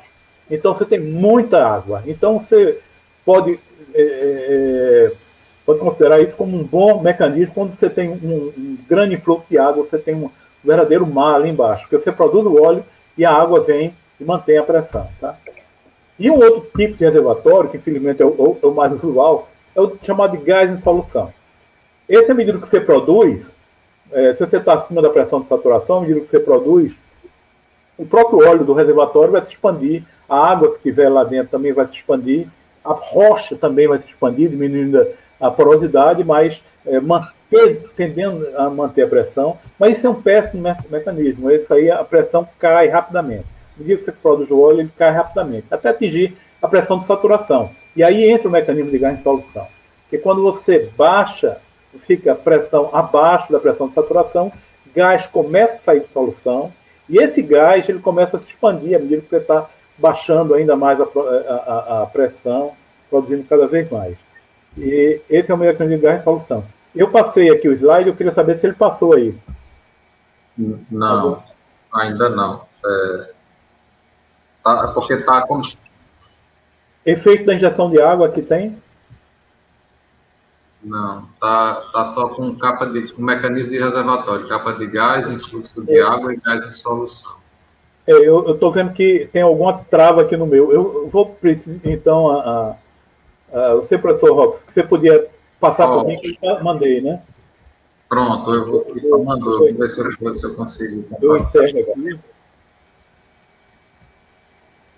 Desculpe aí pela. Tranquilo, não sem problemas, professor. Aí só, são, são, são as questões do home office. Deixa eu ver se eu consigo. Pronto. Aqui.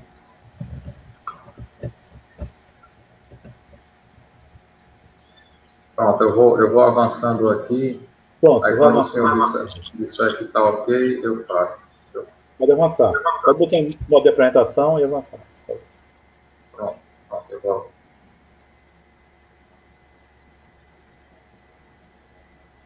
Está funcionando? Tá, tá indo. Vá, pode ir. Ok, parei.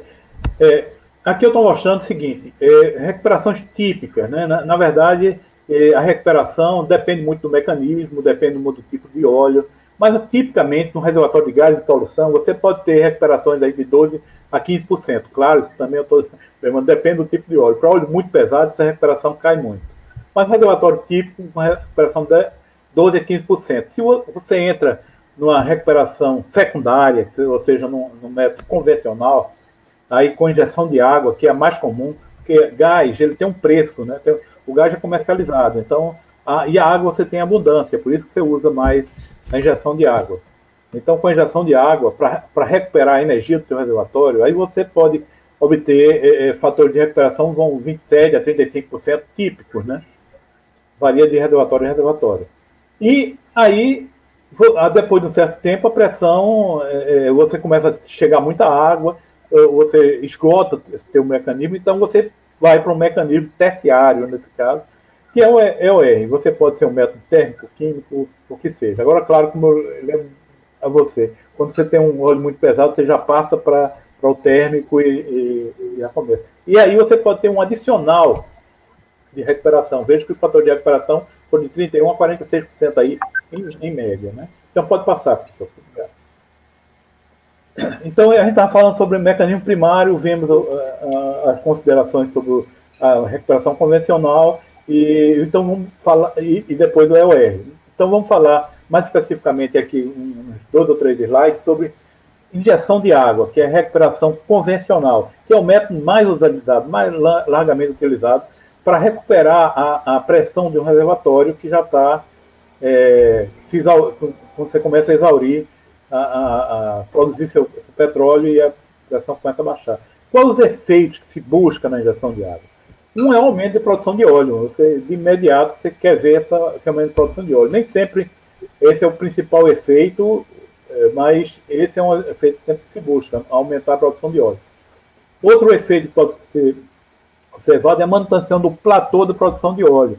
Isso seria o seguinte: você começa a desenvolver um campo, começa a, a perfurar os poços numa determinada malha de, de drenagem, e depois que consegue é, perfurar todos aqueles poços, a tua produção chegou a um pico de produção, vamos dizer assim, e aí você começa a injeção de água.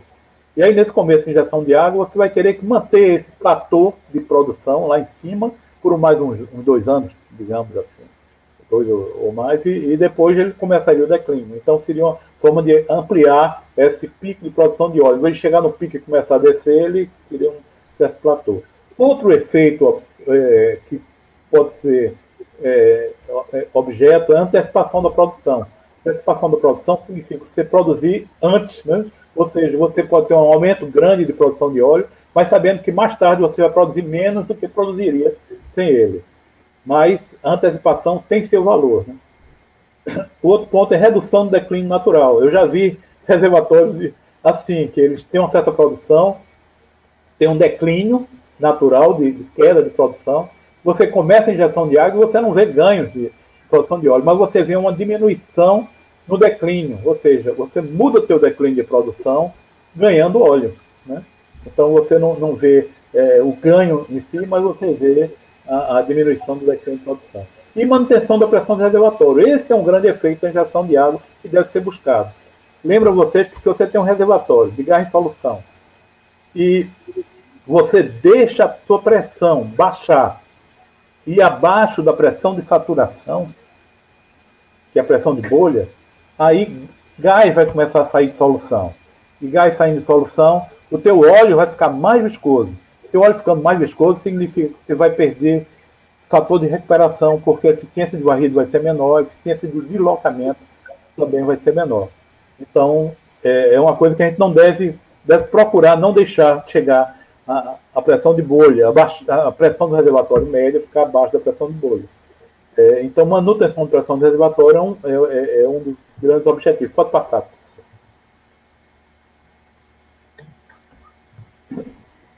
Travou aqui.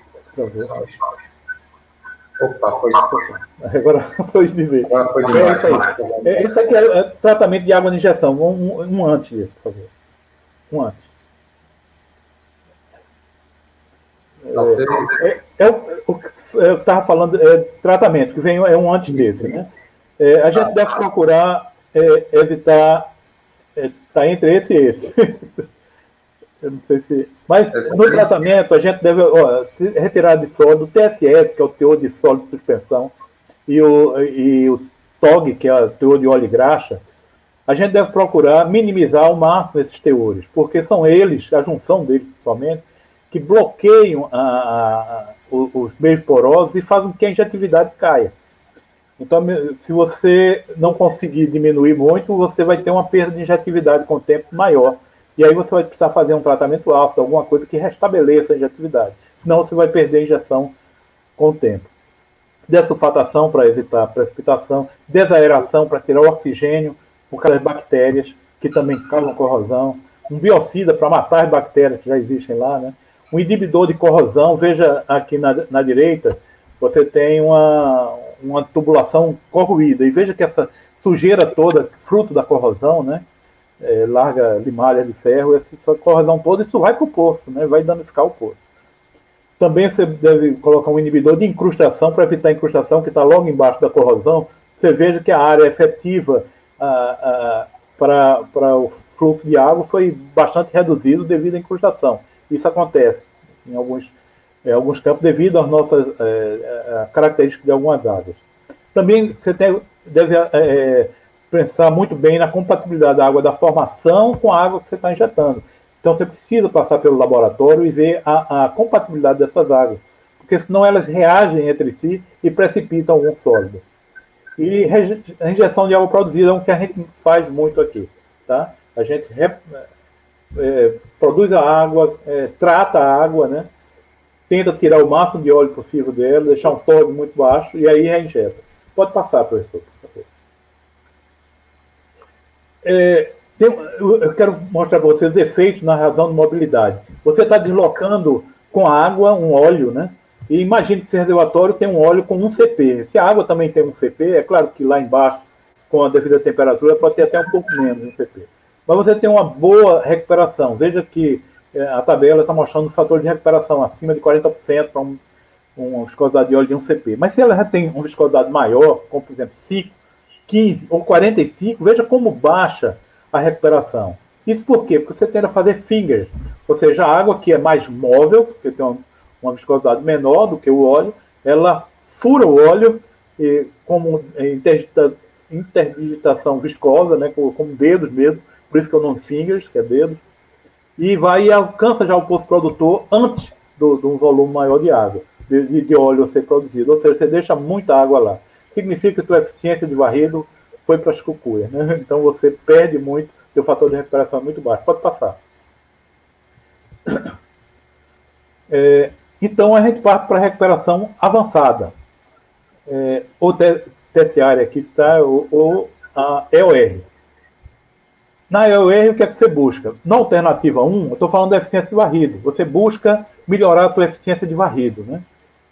Na alternativa 2, você busca, busca melhorar a eficiência de deslocamento.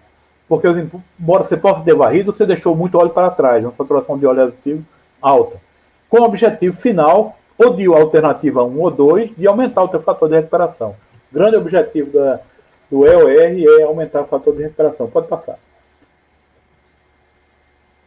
Então, partimos para a recuperação terciária. Temos vários métodos de recuperação terciária. A gente pode é, fazer vários grupos. Um dos grupos seria os métodos químicos. Aqui estão alguns métodos químicos utilizados. Outros métodos térmicos, miscíveis e microbiológicos. Então vamos, vamos para o químico. Pode passar. Pode passar para o próximo. No métodos químicos, nós temos é, vários métodos, várias é, possibilidades. O, o, mais conhecido, o mais usual dele no mundo afora é o de polímeros, para o controle de mobilidade. Ora, eu mostrei aquele gráfico lá com reservatório com viscosidade de óleos diferentes, né?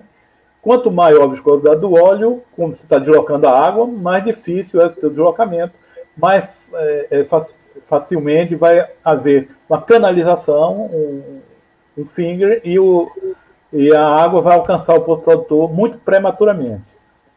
Como você não pode modificar a, viscosidade do óleo, se você não puder, né, você pode métodos térmicos e outros métodos.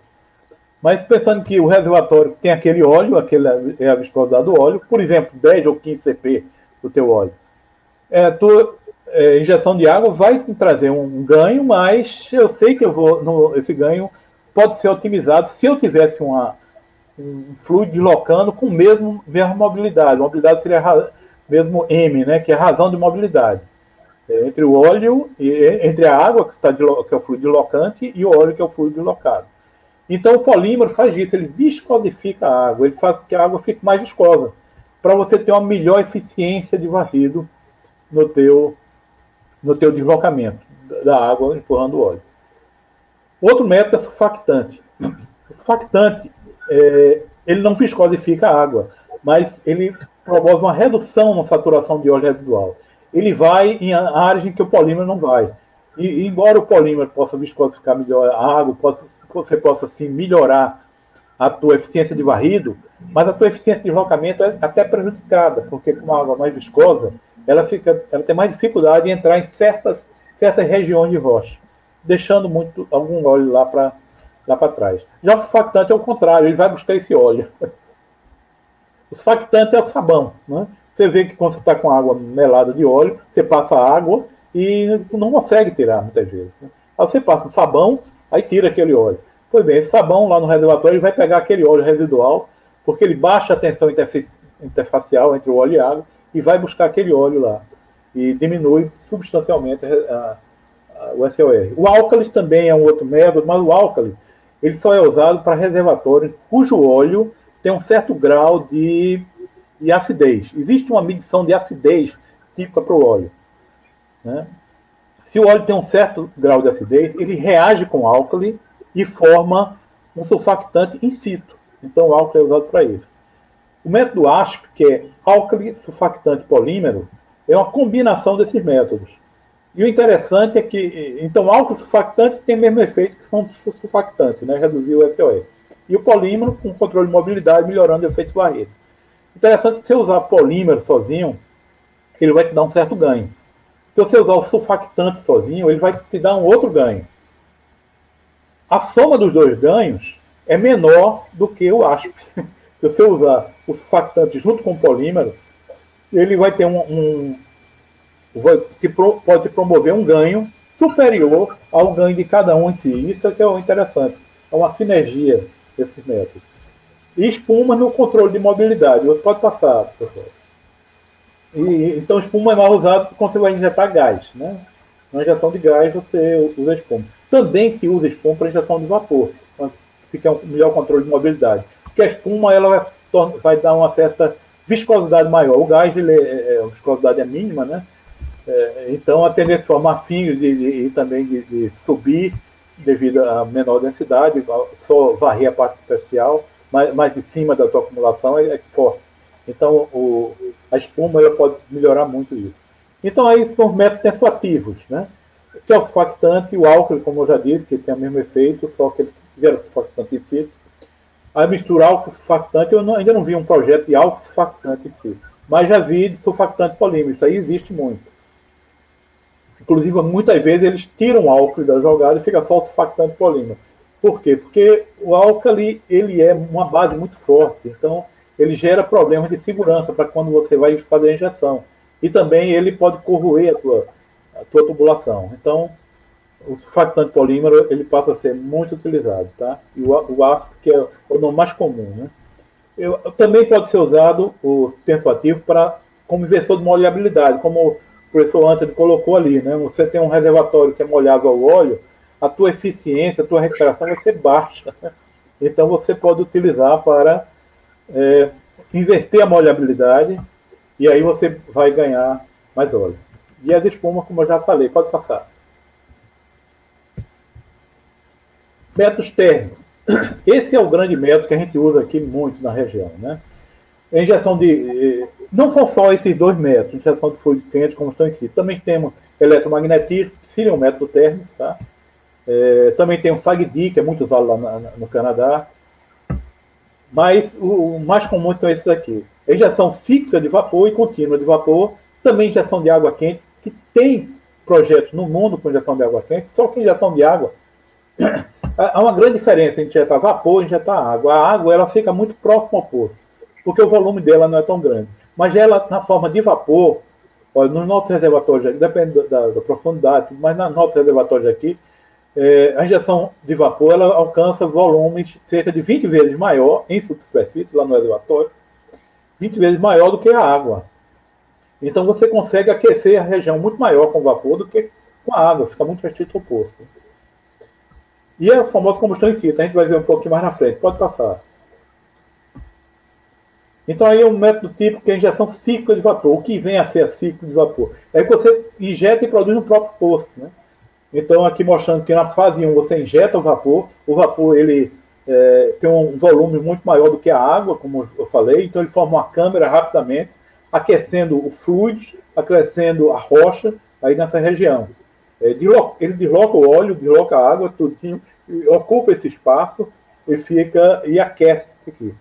É, numa segunda fase, que é um fechamento, que é o, que é o tempo de soaking, que é também chamado tempo de condensação. Esse tempo ele vai, ele, à medida que ele aquece a rocha, aquece os fluidos e, e perde também alguma coisa para a formação adjacente, aí ele vai esfriando, então ele vai condensando. Então essa, é, esse vapor ele condensa na forma de água, como se fosse implodido lá dentro. Aí quando ele implode, ele chama o óleo que ele deslocou para essa região que ele aqueceu. Então está tudo fica tudo quente. E depois você bota na terceira fase, que é a produção. Pode passar. Porque depois vem a injeção contínua de vapor. A injeção cíclica é muito boa, economicamente excelente, os resultados são excelentes normalmente. Você multiplica a produção no posto em 10 vezes, pelo menos. É, e você pode fazer vários ciclos de vapor. Mas a injeção cíclica, você ainda está próximo ao poço. É, é, muito mais, é, mais distante do poço do que água quente, mas ainda envolvendo óleo que está numa certa região, ainda numa certa proximidade do poço. O óleo que estão mais distantes, que estão entre os poços, você tem mais dificuldade de atingi-lo. Você só vai atingi-lo com a injeção contínua de vapor. Então, normalmente, a gente começa com a injeção cíclica, extrai o que pode e depois faz a injeção contínua, onde você injeta continuamente vapor no poço para deslocar esse óleo e ser produzido no no posto produtor. Pode passar. E a combustão in situ, É, eu gosto muito desse método, mas nós nunca testamos aqui. Testamos já em Aracaju, na Bahia, há 40 anos atrás. Não deu certo lá, aí o pessoal desistiu. Mas eu acho que é um método promissor para a nossa região. É, você injeta o ar, esse ar ele vai queimar o óleo, na verdade ele queima o coque do óleo, porque o óleo é, é composto de vários componentes. Componentes mais leves e mais pesados. O coque é a, é a fração mais pesada. Então, à medida que ele queima, as frações mais leves são deslocadas para frente. É, é, e, e, também tem, ele promove, promove, destilação do óleo, é outra coisa que. É, é, é o craqueamento do óleo, desculpa. E craqueamento que o, o, os métodos convencionais não, não fazem, nem o vapor faz. Só chega a 300 graus centígrados no mar. Aqui você chega a 450 ou mais graus centígrados. Aí craqueia o óleo. O que é craquear o óleo? Pegar uma cadeia é, longa de, de hidrocarboneto, um peso molecular quebrado, e quebra, começa a quebrar em cadeias menores. Então você começa a ter hidrocarbonetos mais leves.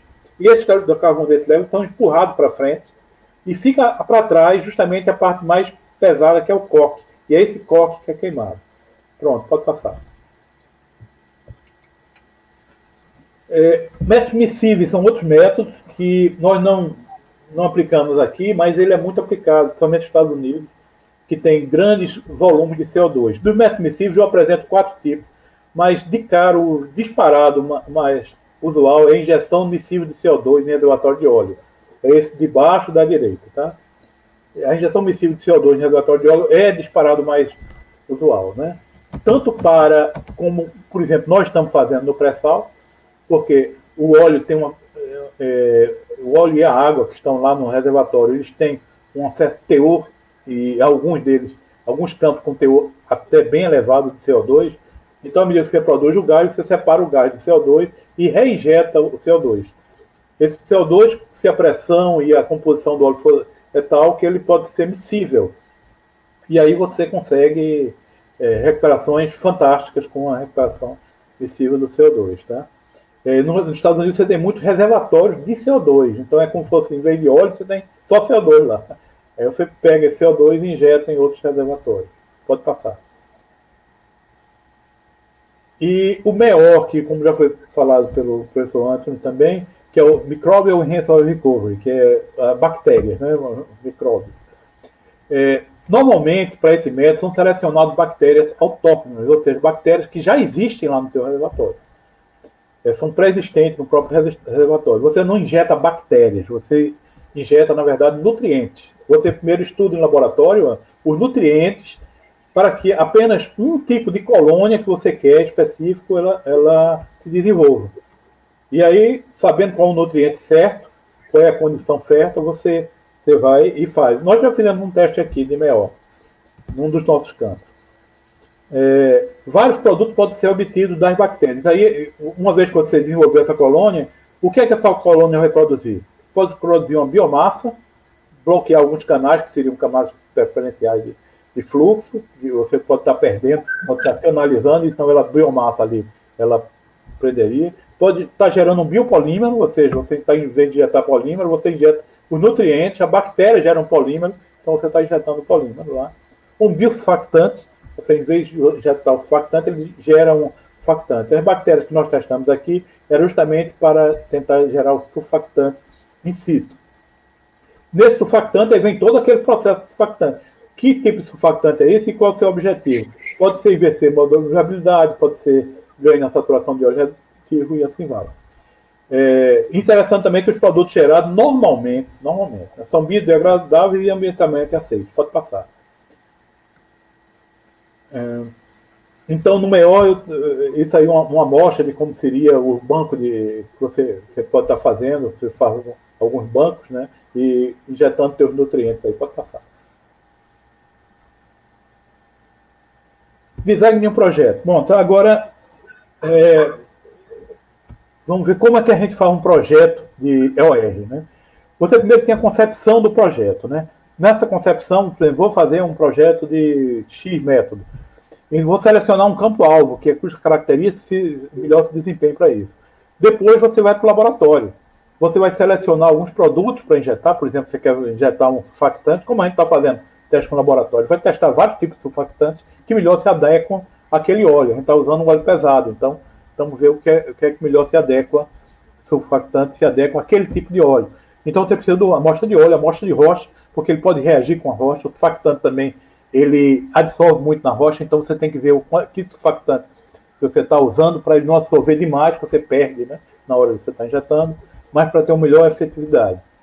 Depois você parte para a simulação, com os efeitos do laboratório já, já é, comprovados, você parte para a simulação, usando algumas características que o próprio laboratório, para o próprio laboratório vai fornecer, para depois fazer uma avaliação econômica, partir para um projeto piloto, ou seja, você seleciona uma área do campo e, e vamos fazer esse método nessa parte daqui para ver, para depois, dando certo, depois de vários anos, dando certo, você vai para a expansão. Aí sim você vai aplicar em todo o campo.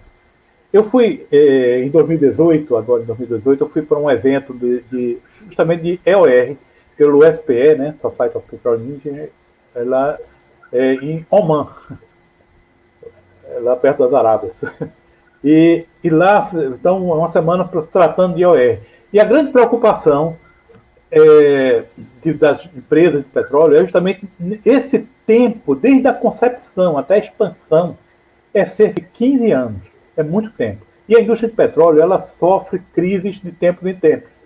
Estima-se que a cada 10 anos sofre uma grande crise. Nessa grande crise, o pessoal ligado à EOR normalmente são os primeiros a serem demitidos. Infelizmente. Porque é algo que se quer a mais. Né? Então, o pessoal diz, não, eu quero o primeiro que está garantido aqui. E aí demite esse pessoal. Só que o pessoal altamente especialista. Para cada método desse tem especialista em cada área, pessoal do laboratório. Aí você demite. Aí depois de alguns anos, quando uh, o petróleo volta a, a, aparecer como algo atrativo, você já não tem mais aquela equipe, o pessoal já, já foi desmobilizado, já estão trabalhando em outras empresas, que não tem nada a ver com petróleo, e você não tem mais aquela equipe. Uma das recomendações lá é que as empresas de petróleo, mesmo na crise, mantenham seu estudo, porque o estudo, até chegar na avaliação econômica, é muito barato frente a, a, a, ao método de expansão. E mesmo assim, se recomenda que, se, de preferência, vá até o piloto, que ainda é muito barato frente à aplicação em todo o campo. Né?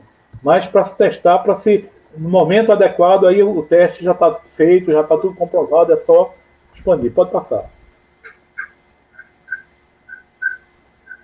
Aqui são números que não estão atualizados, infelizmente, não peguei esse número atualizado, mas a gente vê um número de projetos, não dá para ler adequadamente, mas o T, é, é, né, no da esquerda, o, a, a, fatia da pizza mais à esquerda é método térmico. A mais à direita, a grande à direita, é método de gás miscível. E tem várias outras aqui, tá? E na, na pix da direita é a produção associada, porque na esquerda é o número de projetos. E isso não está atualizado, mas o, o, hoje os números não estão tão diferentes. Essa observação que a gente faz, grosseira aqui, serve muito bem. Você veja que na direita, o método térmico, que é esse mais avermelhado aqui, na produção associada, é a, é a grande vedete. Hoje, no mundo, é a grande vedete ainda. Agora, métodos miscíveis, que você vê aqui, com já com uma parcela grande, essa parcela tem aumentado. Então, tem se usado muito gás miscível e o gás miscível que tem usado é o CO2. Também pode se usar nitrogênio, pode usar, se usar gás de hidrocarboneto, que possa ser miscível também. E métodos químicos, você veja, tem uma pequena parcela. Continua ainda com a pequena parcela. Pode passar. Estamos terminando já. É, isso também não está atualizado, mas isso é para mostrar. Nos Estados Unidos, como, for, como é a aplicação de métodos. Veja que métodos químicos aqui, na época, na década de 80, ele aumenta muito.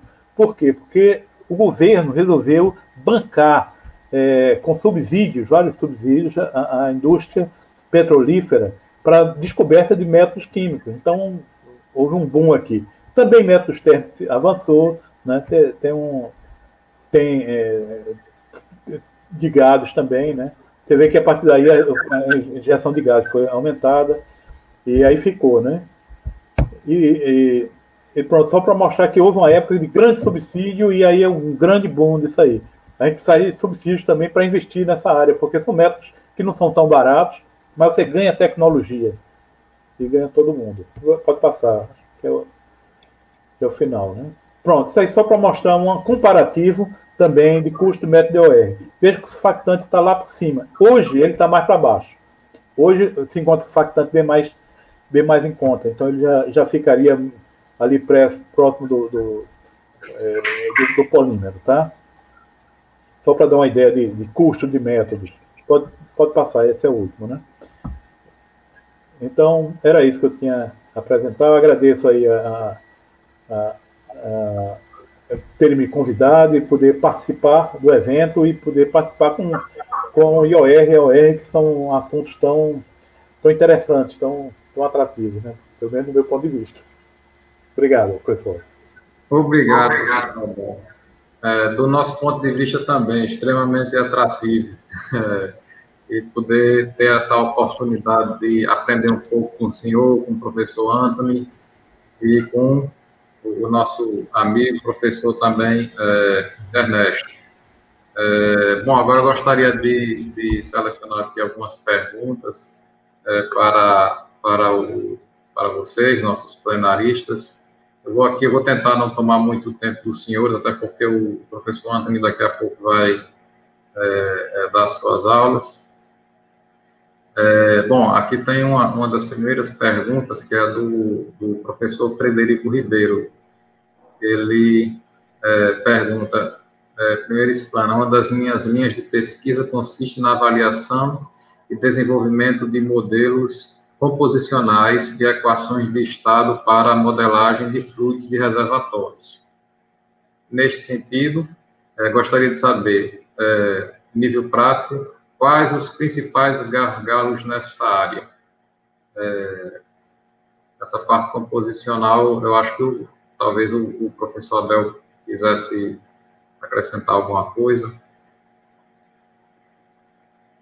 O professor está sem o microfone. Ah, desculpa. Sim, eu tenho, é, tenho alguma experiência com, com composicional, até porque minha tese de doutorado, foi, de doutorado né, foi justamente é, com o modelo CHAMP, que é o modelo composicional da, da CMG. Na verdade, a minha tese eu desenvolvi lá dentro da CMG, né, que eu fiz doutorado lá no Calgary, né?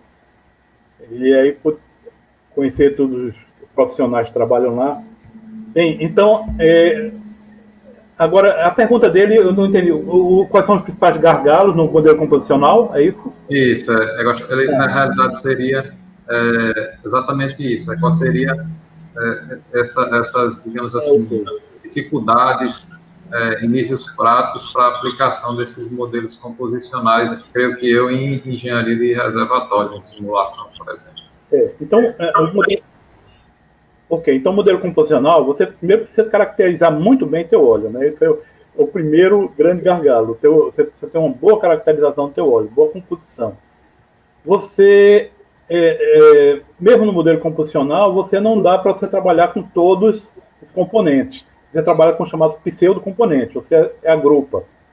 E a forma de agrupar, ela é, um, é importante também. E também quantos agrupamentos você vai fazer, porque se você faz, se você deixa muitos pseudo-componentes, 15, 20, você pode ter uma, uma, uma, uma deficiência muito grande no tempo de simulação. Né? O tempo pode ser exagerado. Então, é, o importante é você ver que caracterização do óleo você precisaria fazer, qual a caracterização mínima, mínima é seguinte, número mínimo de seus componentes que vão representar bem o óleo, para o teu objetivo, também depende do teu objetivo. Né? Se você está trabalhando com CO2, por exemplo, é importantíssimo trabalhar com composicional. Né? Eu, eu, então, meu trabalho foram mais nessa, nessa linha aí. É, por quê? Porque o CO2 vai interagir com o óleo, ele é, é, é, solúvel em óleo e pode ser miscível, né? Então, lá no pré-sal a gente busca a miscibilidade, mas mesmo que não seja miscível, é, é uma coisa também importante dizer o seguinte, mesmo que não seja miscível, ele é solúvel, que o pessoal confunde, às vezes, solubilidade com miscibilidade. A miscibilidade é quando ele é solúvel em qualquer composição, qualquer teor. E, e, a miscibilidade. Mas a solubilidade não, ele vai ser. Então o CO2 ele é solúvel no, no óleo. Pode ser mais ou menos solúvel, a depender da tua temperatura, da tua pressão e da composição do teu óleo. E aí a solubilidade vai fazer com que o teu óleo enche, ou seja, ele aumenta de volume, ele baixa a viscosidade, ele fica mais fluido, ou seja, você tem ganhos com injeção de CO2, mesmo quando ele não tem admissibilidade. Agora, quando você tem admissibilidade, ele ganha disparado. Então, o, o gargalo do, do, da simulação, voltando, o gargalo da simulação computacional é você caracterizar bem o óleo, usar um número de pseudocomponentes é, suficiente para a tua simulação não ser demasiadamente carregada e atingir e observando teus objetivos na tua simulação. Né? É muito importante saber qual é o teu objetivo. E para que ele atenda esse objetivo. Né? Não sei se respondi ou se ele teria alguma outra. Com certeza. É, se o quiser complementar. Eu acho. Eu acho, Robson, que no caso dele, ele trabalhando com a montagem das equações de estado, é, ele teria que pensar em ele montar o próprio simulador dele, né? Porque, infelizmente, as, as soluções comerciais, elas sempre vêm com o Peng Robson e com aquele SWK, eu acho. É suave? É, né, Abel? Vem, é, isso. Então, assim, o, o, as soluções comerciais, elas vêm, elas vêm com, com equações de estado já, com é, os modelos definidos já.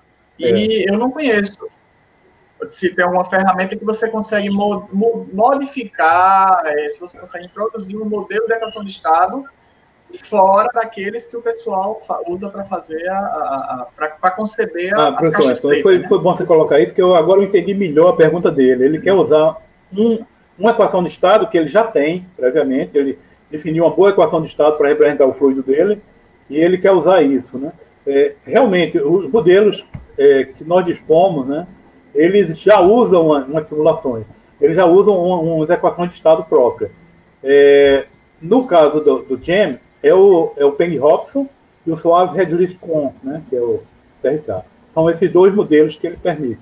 É, era importante ver o seguinte: se com o Peng Hobson ele conseguiria representar bem essa equação de estado dele, estaria bem representado. Se tiver, tudo bem. Ou o, o Suave Reduced Com, mas também o Suave Reduced Com é, é um pouco mais, menos é, abrangente do que o Peng Hobson. A maioria das é, dos fluidos são bem, do fluido primeiro hidrocarboneto, são bem representados na no, com o Peng. Mas depende também da aplicação. Né? E aí, realmente, ele, ele vai ter esse. Também, software também de outras empresas, eles usam equação de. Normalmente são essas equações de estados aí que são mais, são mais usuais. É isso mesmo. Obrigado, professor. Obrigado, Anthony, por, por acrescentar. Bom, é, Agora, uma pergunta um pouco mais direcionada à simulação, é, para o professor Anthony. É, professor, é, gostaria que o senhor comentasse um pouco sobre a importância da aquisição e qualidade dos dados é, para a realização de estudos de, por exemplo, de previsão de produção de óleo é, e análise econômica de projetos, utilizando a simulação numérica. Você entendeu? Uhum. Acho que, acho que vai, a gente vai fazer aqui o contrário. Eu vou fazer, eu vou fazer a resposta e o professor Abel vai, vai, vai me complementar, com certeza. É, quanto mais, quanto mais exatidão você tiver no, nos dados que você vai adquirir, melhor vai ser a qualidade do seu modelo, tá? Agora, como eu falei na apresentação, tem que tomar cuidado que quanto mais, quanto mais detalhe eu colocar no meu modelo, é, mais ele pode demorar a rodar principalmente em termos de modelagem geológica, tá? Só que aí também tem umas limitações, né? É, o professor Abel até comentou aqui, assim, que, que é, até aqui, né, que é, quando você vai caracterizar um, um, óleo, por exemplo, você não vai ter um cromatógrafo que vai medir com exatidão até 150. Não vai. Então, ele vai medir com uma certa exatidão até, sei lá, C12, C6. Vai depender do, do, do fabricante e do valor que você pagou, né? Quanto mais caro, mais exatidão você vai ter. Mas aí também tem aquela questão. Se eu pegar um óleo, se eu caracterizar um óleo é, com 30 componentes, quanto tempo minha simulação vai demorar? Né? Então, é, a, gente entra, a gente sempre está nesse dilema.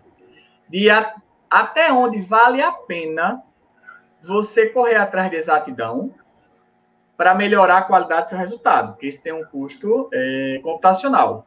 Agora, uma coisa que ajuda bastante é o ajuste de histórico. Se você tivesse, assim, sei lá, é, isso aí acho que até, até que Ernesto me ajuda melhor nessa resposta no final, se você quiser comentar. Sei lá, vamos supor que você tenha 20 poços no campo. e você tem os dados dos 20 postos.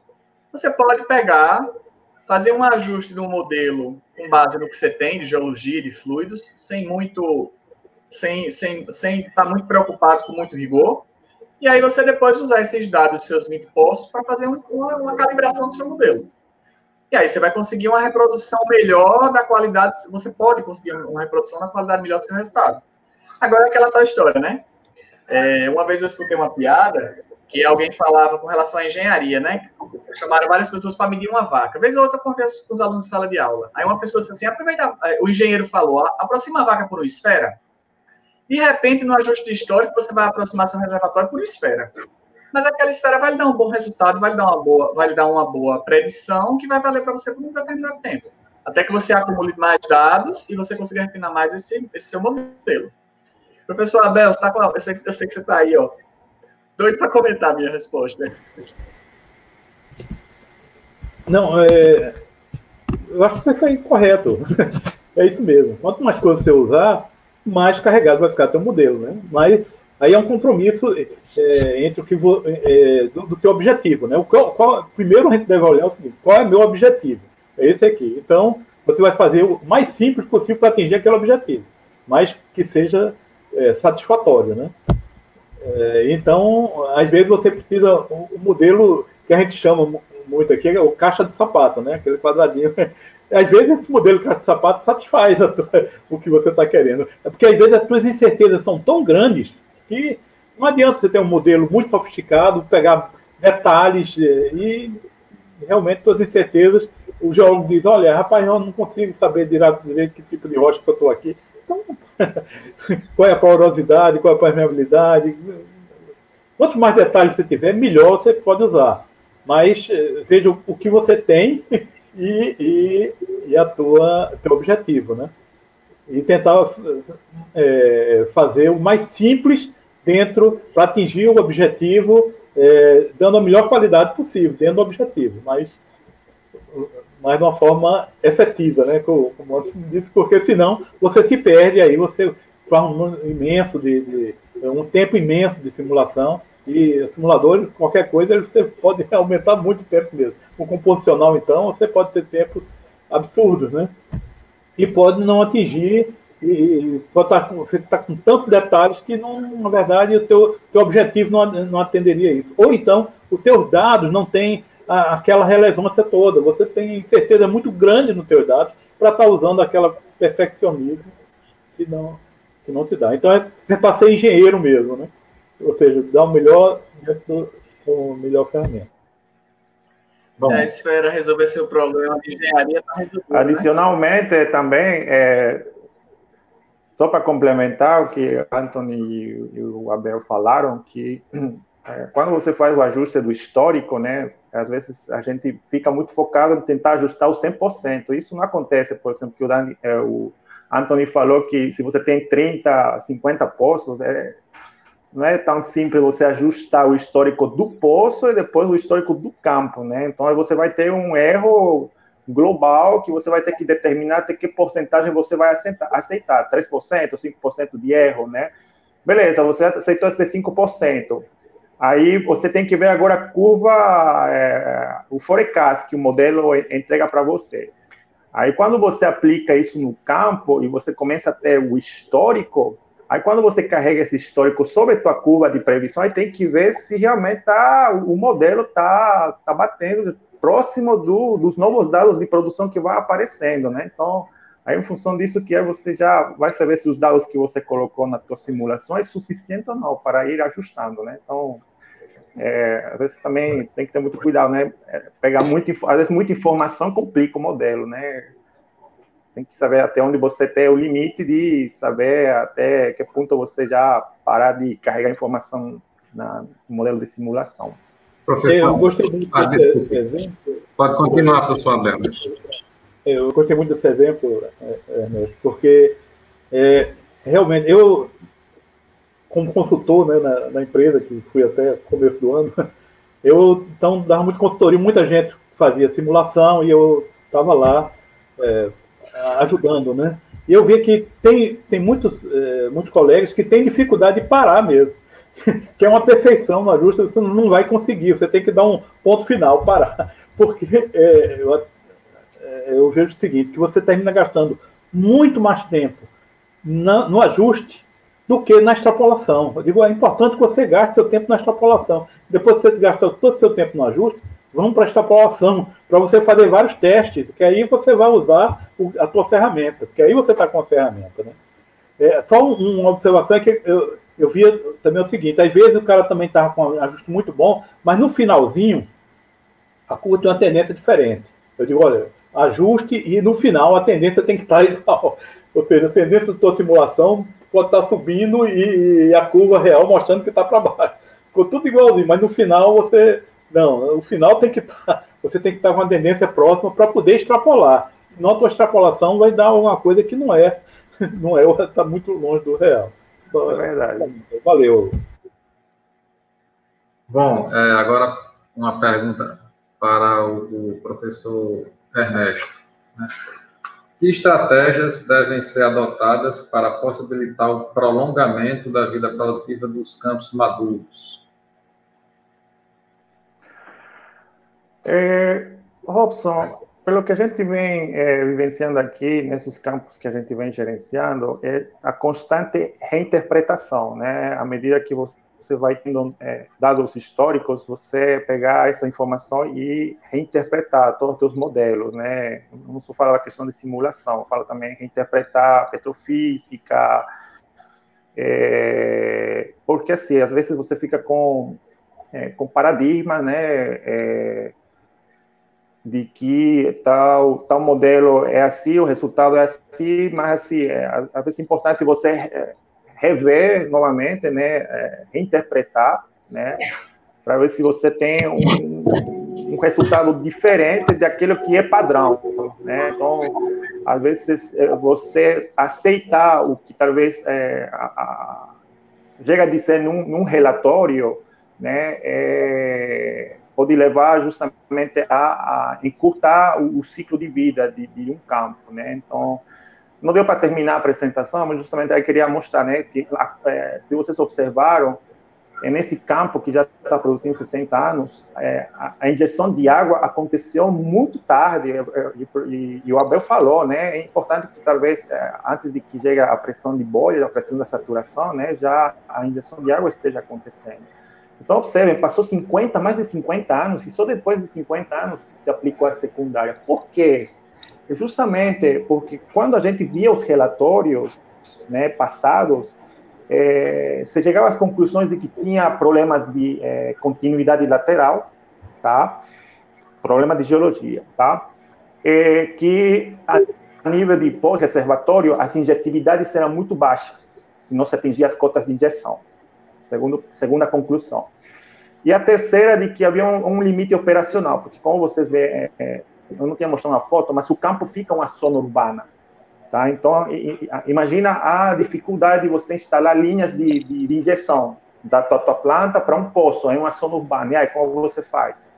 Né? É, você tem que é, não vai deixar aéreo a tua linha, né? Você vai ter que investir um pouco mais para poder soterrar essa linha, para por estradas, perto de casas, moradias, enfim. Então, é, essas foram as conclusões que nós tínhamos recebido, mas a, a, foi uma coincidência a, a, secundária, até aparecer a secundária no campo, porque em função, olha só como foi a história, em função dessas conclusões, nós, nós tínhamos achado que, bom, então o campo não tinha mais é, o que fazer em questão secundária, era só fazer o quê?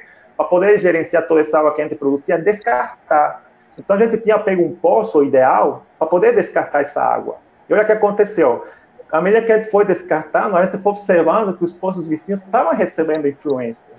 Então, aí, entendeu a questão do paradigma, né? Então, às vezes, você, você é, por um relatório, né, porque chegou a determinadas conclusões, né? Às vezes você se limita, né, a, a poder é, rever é, justamente toda essa questão de geologia.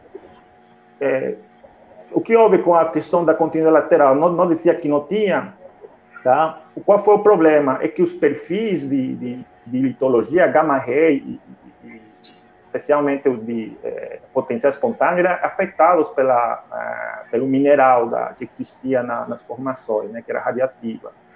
Então, às vezes, isso interferia na qualidade do, do, da curva SP. Então, quando você fazia um, um, uma, uma, correlação composta, então você aparentemente via que não tinha continuidade, continuidade lateral. Mas, de, de, fato, quando a gente começou a injetar para descartar, existia, porque estava acontecendo influência, estava aumentando a produção de óleo, tá? Então, foi o primeiro paradigma que a gente quebrou. O segundo foi a questão da injetividade do poço. É, se informava que era muito baixo, é, e de fato era muito baixo. E aqui na Alagoas a gente tem esse, esse, esse problema, que pela questão da geologia, as injetividades são muito baixas. Então, o que a gente fez? É, a gente tinha observado que quando a gente descartava, a gente tinha atingido a pressão de fratura. E a gente, a gente observou que quando atingia a pressão de fratura, o reservatório começava a receber bastante bem a água. E isso é, permitia você atingir as cotas de, inje de, inje de injeção para poder pressurizar, né, repressurizar o reservatório e poder deslocar o óleo para os poços produtores, né. Então, assim, é, é importante, só para concluir, não, não, me, não me esticar muito, né, é, é, importante, às vezes, você duvidar né, de, de determinadas conclusões técnicas, né, e, e, e tentar interpretar, né, é, com, com toda no, nova informação que vai aparecendo à medida que você vai, vai é, produzindo o teu campo. Então, isso vai te ajudar muito para você continuar é, revitalizando os campos. Tem um poço fechado, um poço parado, veja, reveja novamente o perfil, carrega, reinterpreta, utiliza novos cutores de, de porosidade, é, a salinidade, verifica se a salinidade foi usada corretamente para poder determinar saturações. É, é, isso é muito importante, porque pode ser que tenha um upside que não foi visto anteriormente, porque não tinha, talvez, nesse momento, uma nova informação que você tem agora, né? e que isso possibilita você encontrar um novo upside e poder revitalizar esse poço que estava parado muito tempo. Então, é, eu acho que essa, é a dica, né? Esse aprendizado, o aprendizado que a gente teve com esses campos, né? De tudo que já foi a, a relatório antigo, a gente não acreditar muito e constantemente reinterpretar todos os modelos para continuar revitalizando o campo, tá? Obrigado, professor. É, uma última pergunta, essa pergunta, com essa pergunta a gente finaliza, né, porque o professor Antônio já está com um horário bem apertado. É a pergunta aqui da professora, da, da estudante Kidia. Ela pergunta é, que é, pergunta no RN se no RN tem algum projeto piloto com injeção é, micelar, né? Acho que o professor Abel saberia responder melhor.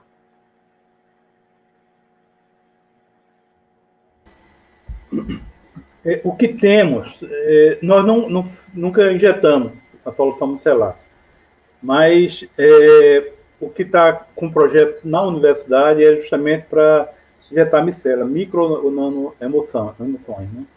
É. É, agora, a Petrobras, infelizmente, está cortando o verbo de, dos projetos daqui, porque como ela está de saída, ela não está.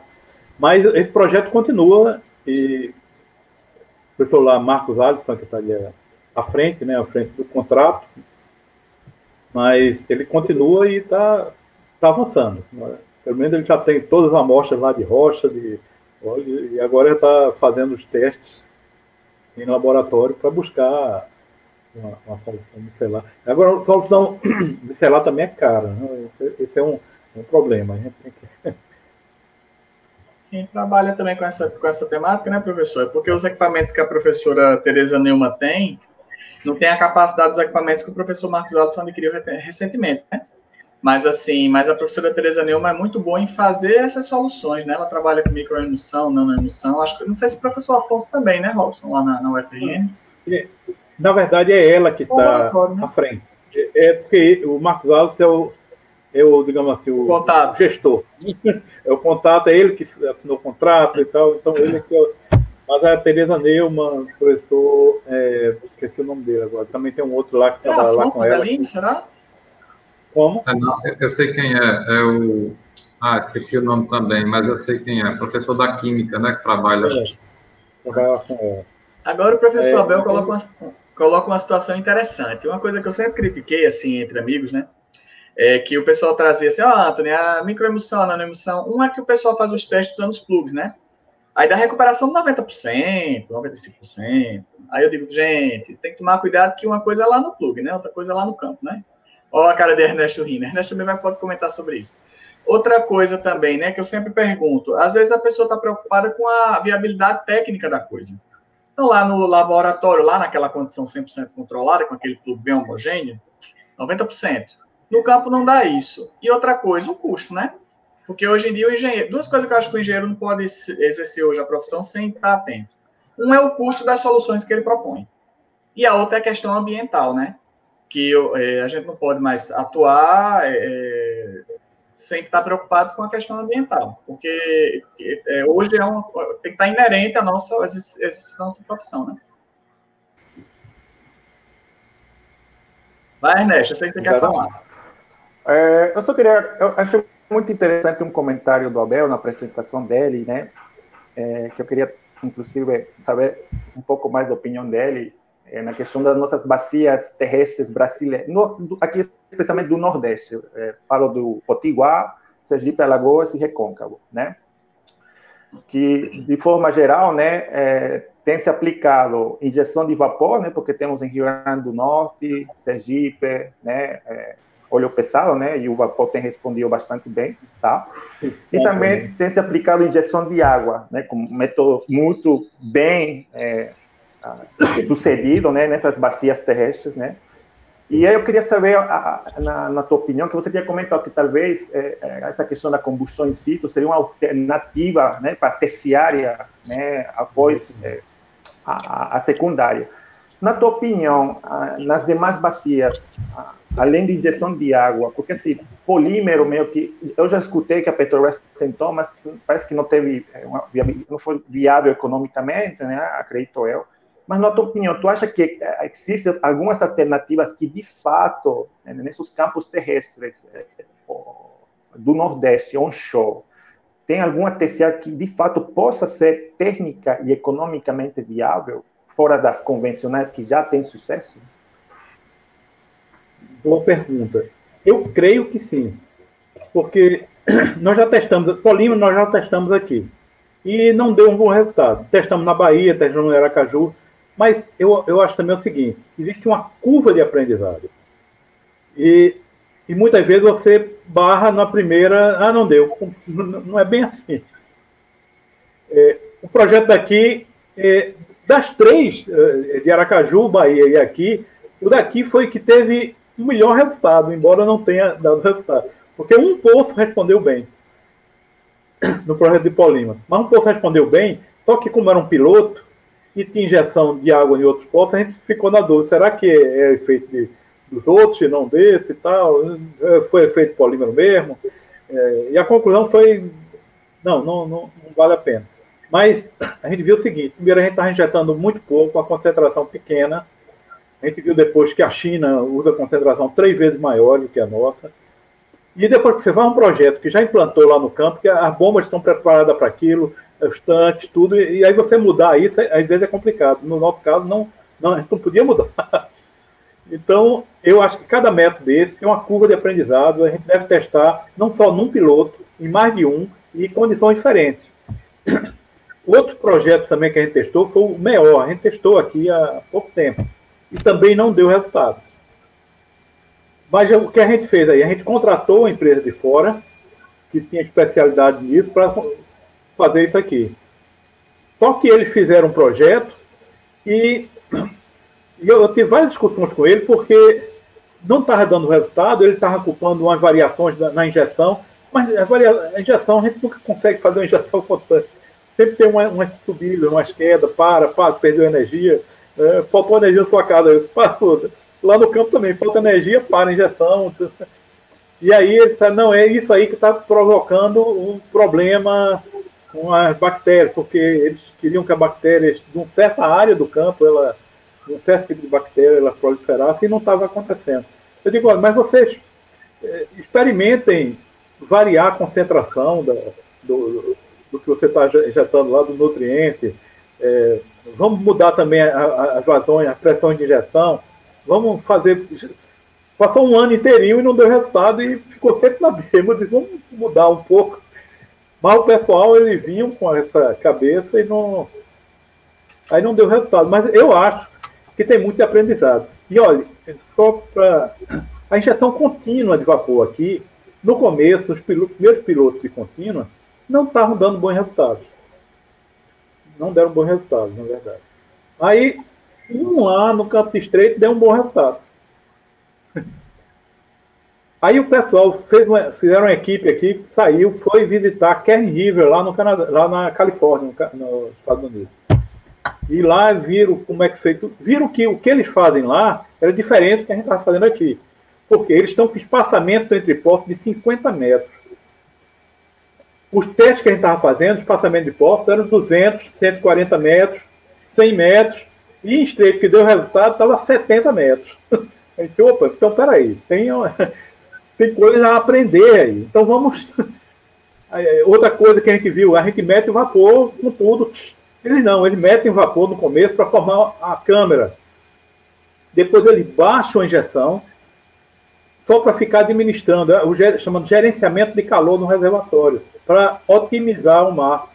E é isso a gente não estava fazendo. Então, quando a gente passou a fazer, aí, aí veio, quer dizer, é a curva de aprendizado. Mesmo métodos clássicos. E, e houve uma troca de know-how, né? Uma troca de know-how que Petrobras é. com isso é exterior foi muito positivo. Quem está funcionando, como é que eles estão fazendo e tentar trazer para cá.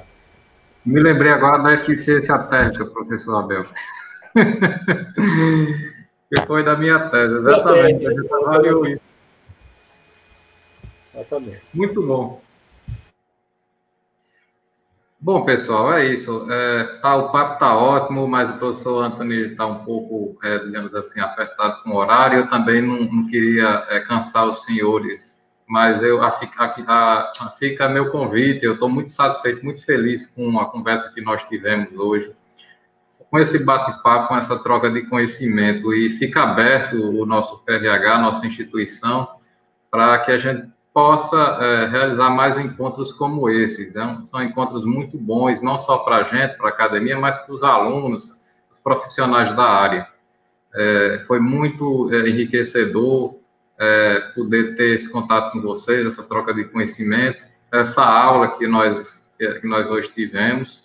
E fica o convite para as próximas é, plenárias, próximos eventos é, na área de petróleo e também pesquisas, enfim, professor Abel, professor Ernesto, estamos abertos, professor Anthony, para é, futuras pesquisas é, na nossa área. Temos uma área que estamos desenvolvendo na área de simulação de reservatórios, é, temos simuladores, temos vontade de trabalhar. É, o que nos falta um pouco é, algumas vezes, a questão da oportunidade.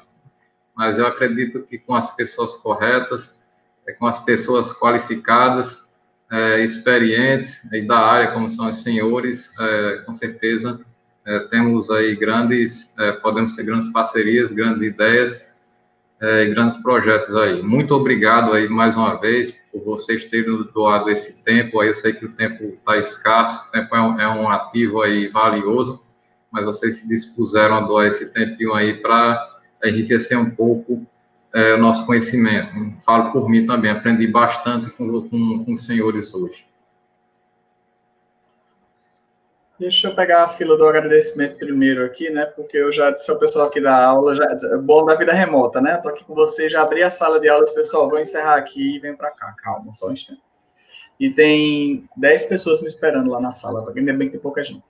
É, queria agradecer a oportunidade, professor Robson, a confiança, né? Porque acho que se, se convidou porque confia, né? É, quero agradecer aos colegas aí pelo momento de interação assim excelente. Estava sentindo muita falta dessas, desses nossos bate-papos, nossos cafés petrolíferos, né? Excepcionalmente sem café. E eu espero que a gente tenha outras oportunidades de, de trocar essas ideias, interagir novamente, né? Porque é muito legal ver que cada um de nós tem uma visão, né? As visões são todas complementares e que a gente aprende muito quando se reúne, né? Então, pessoal, quero, quero agradecer muito aí essa oportunidade e, como repetir, né?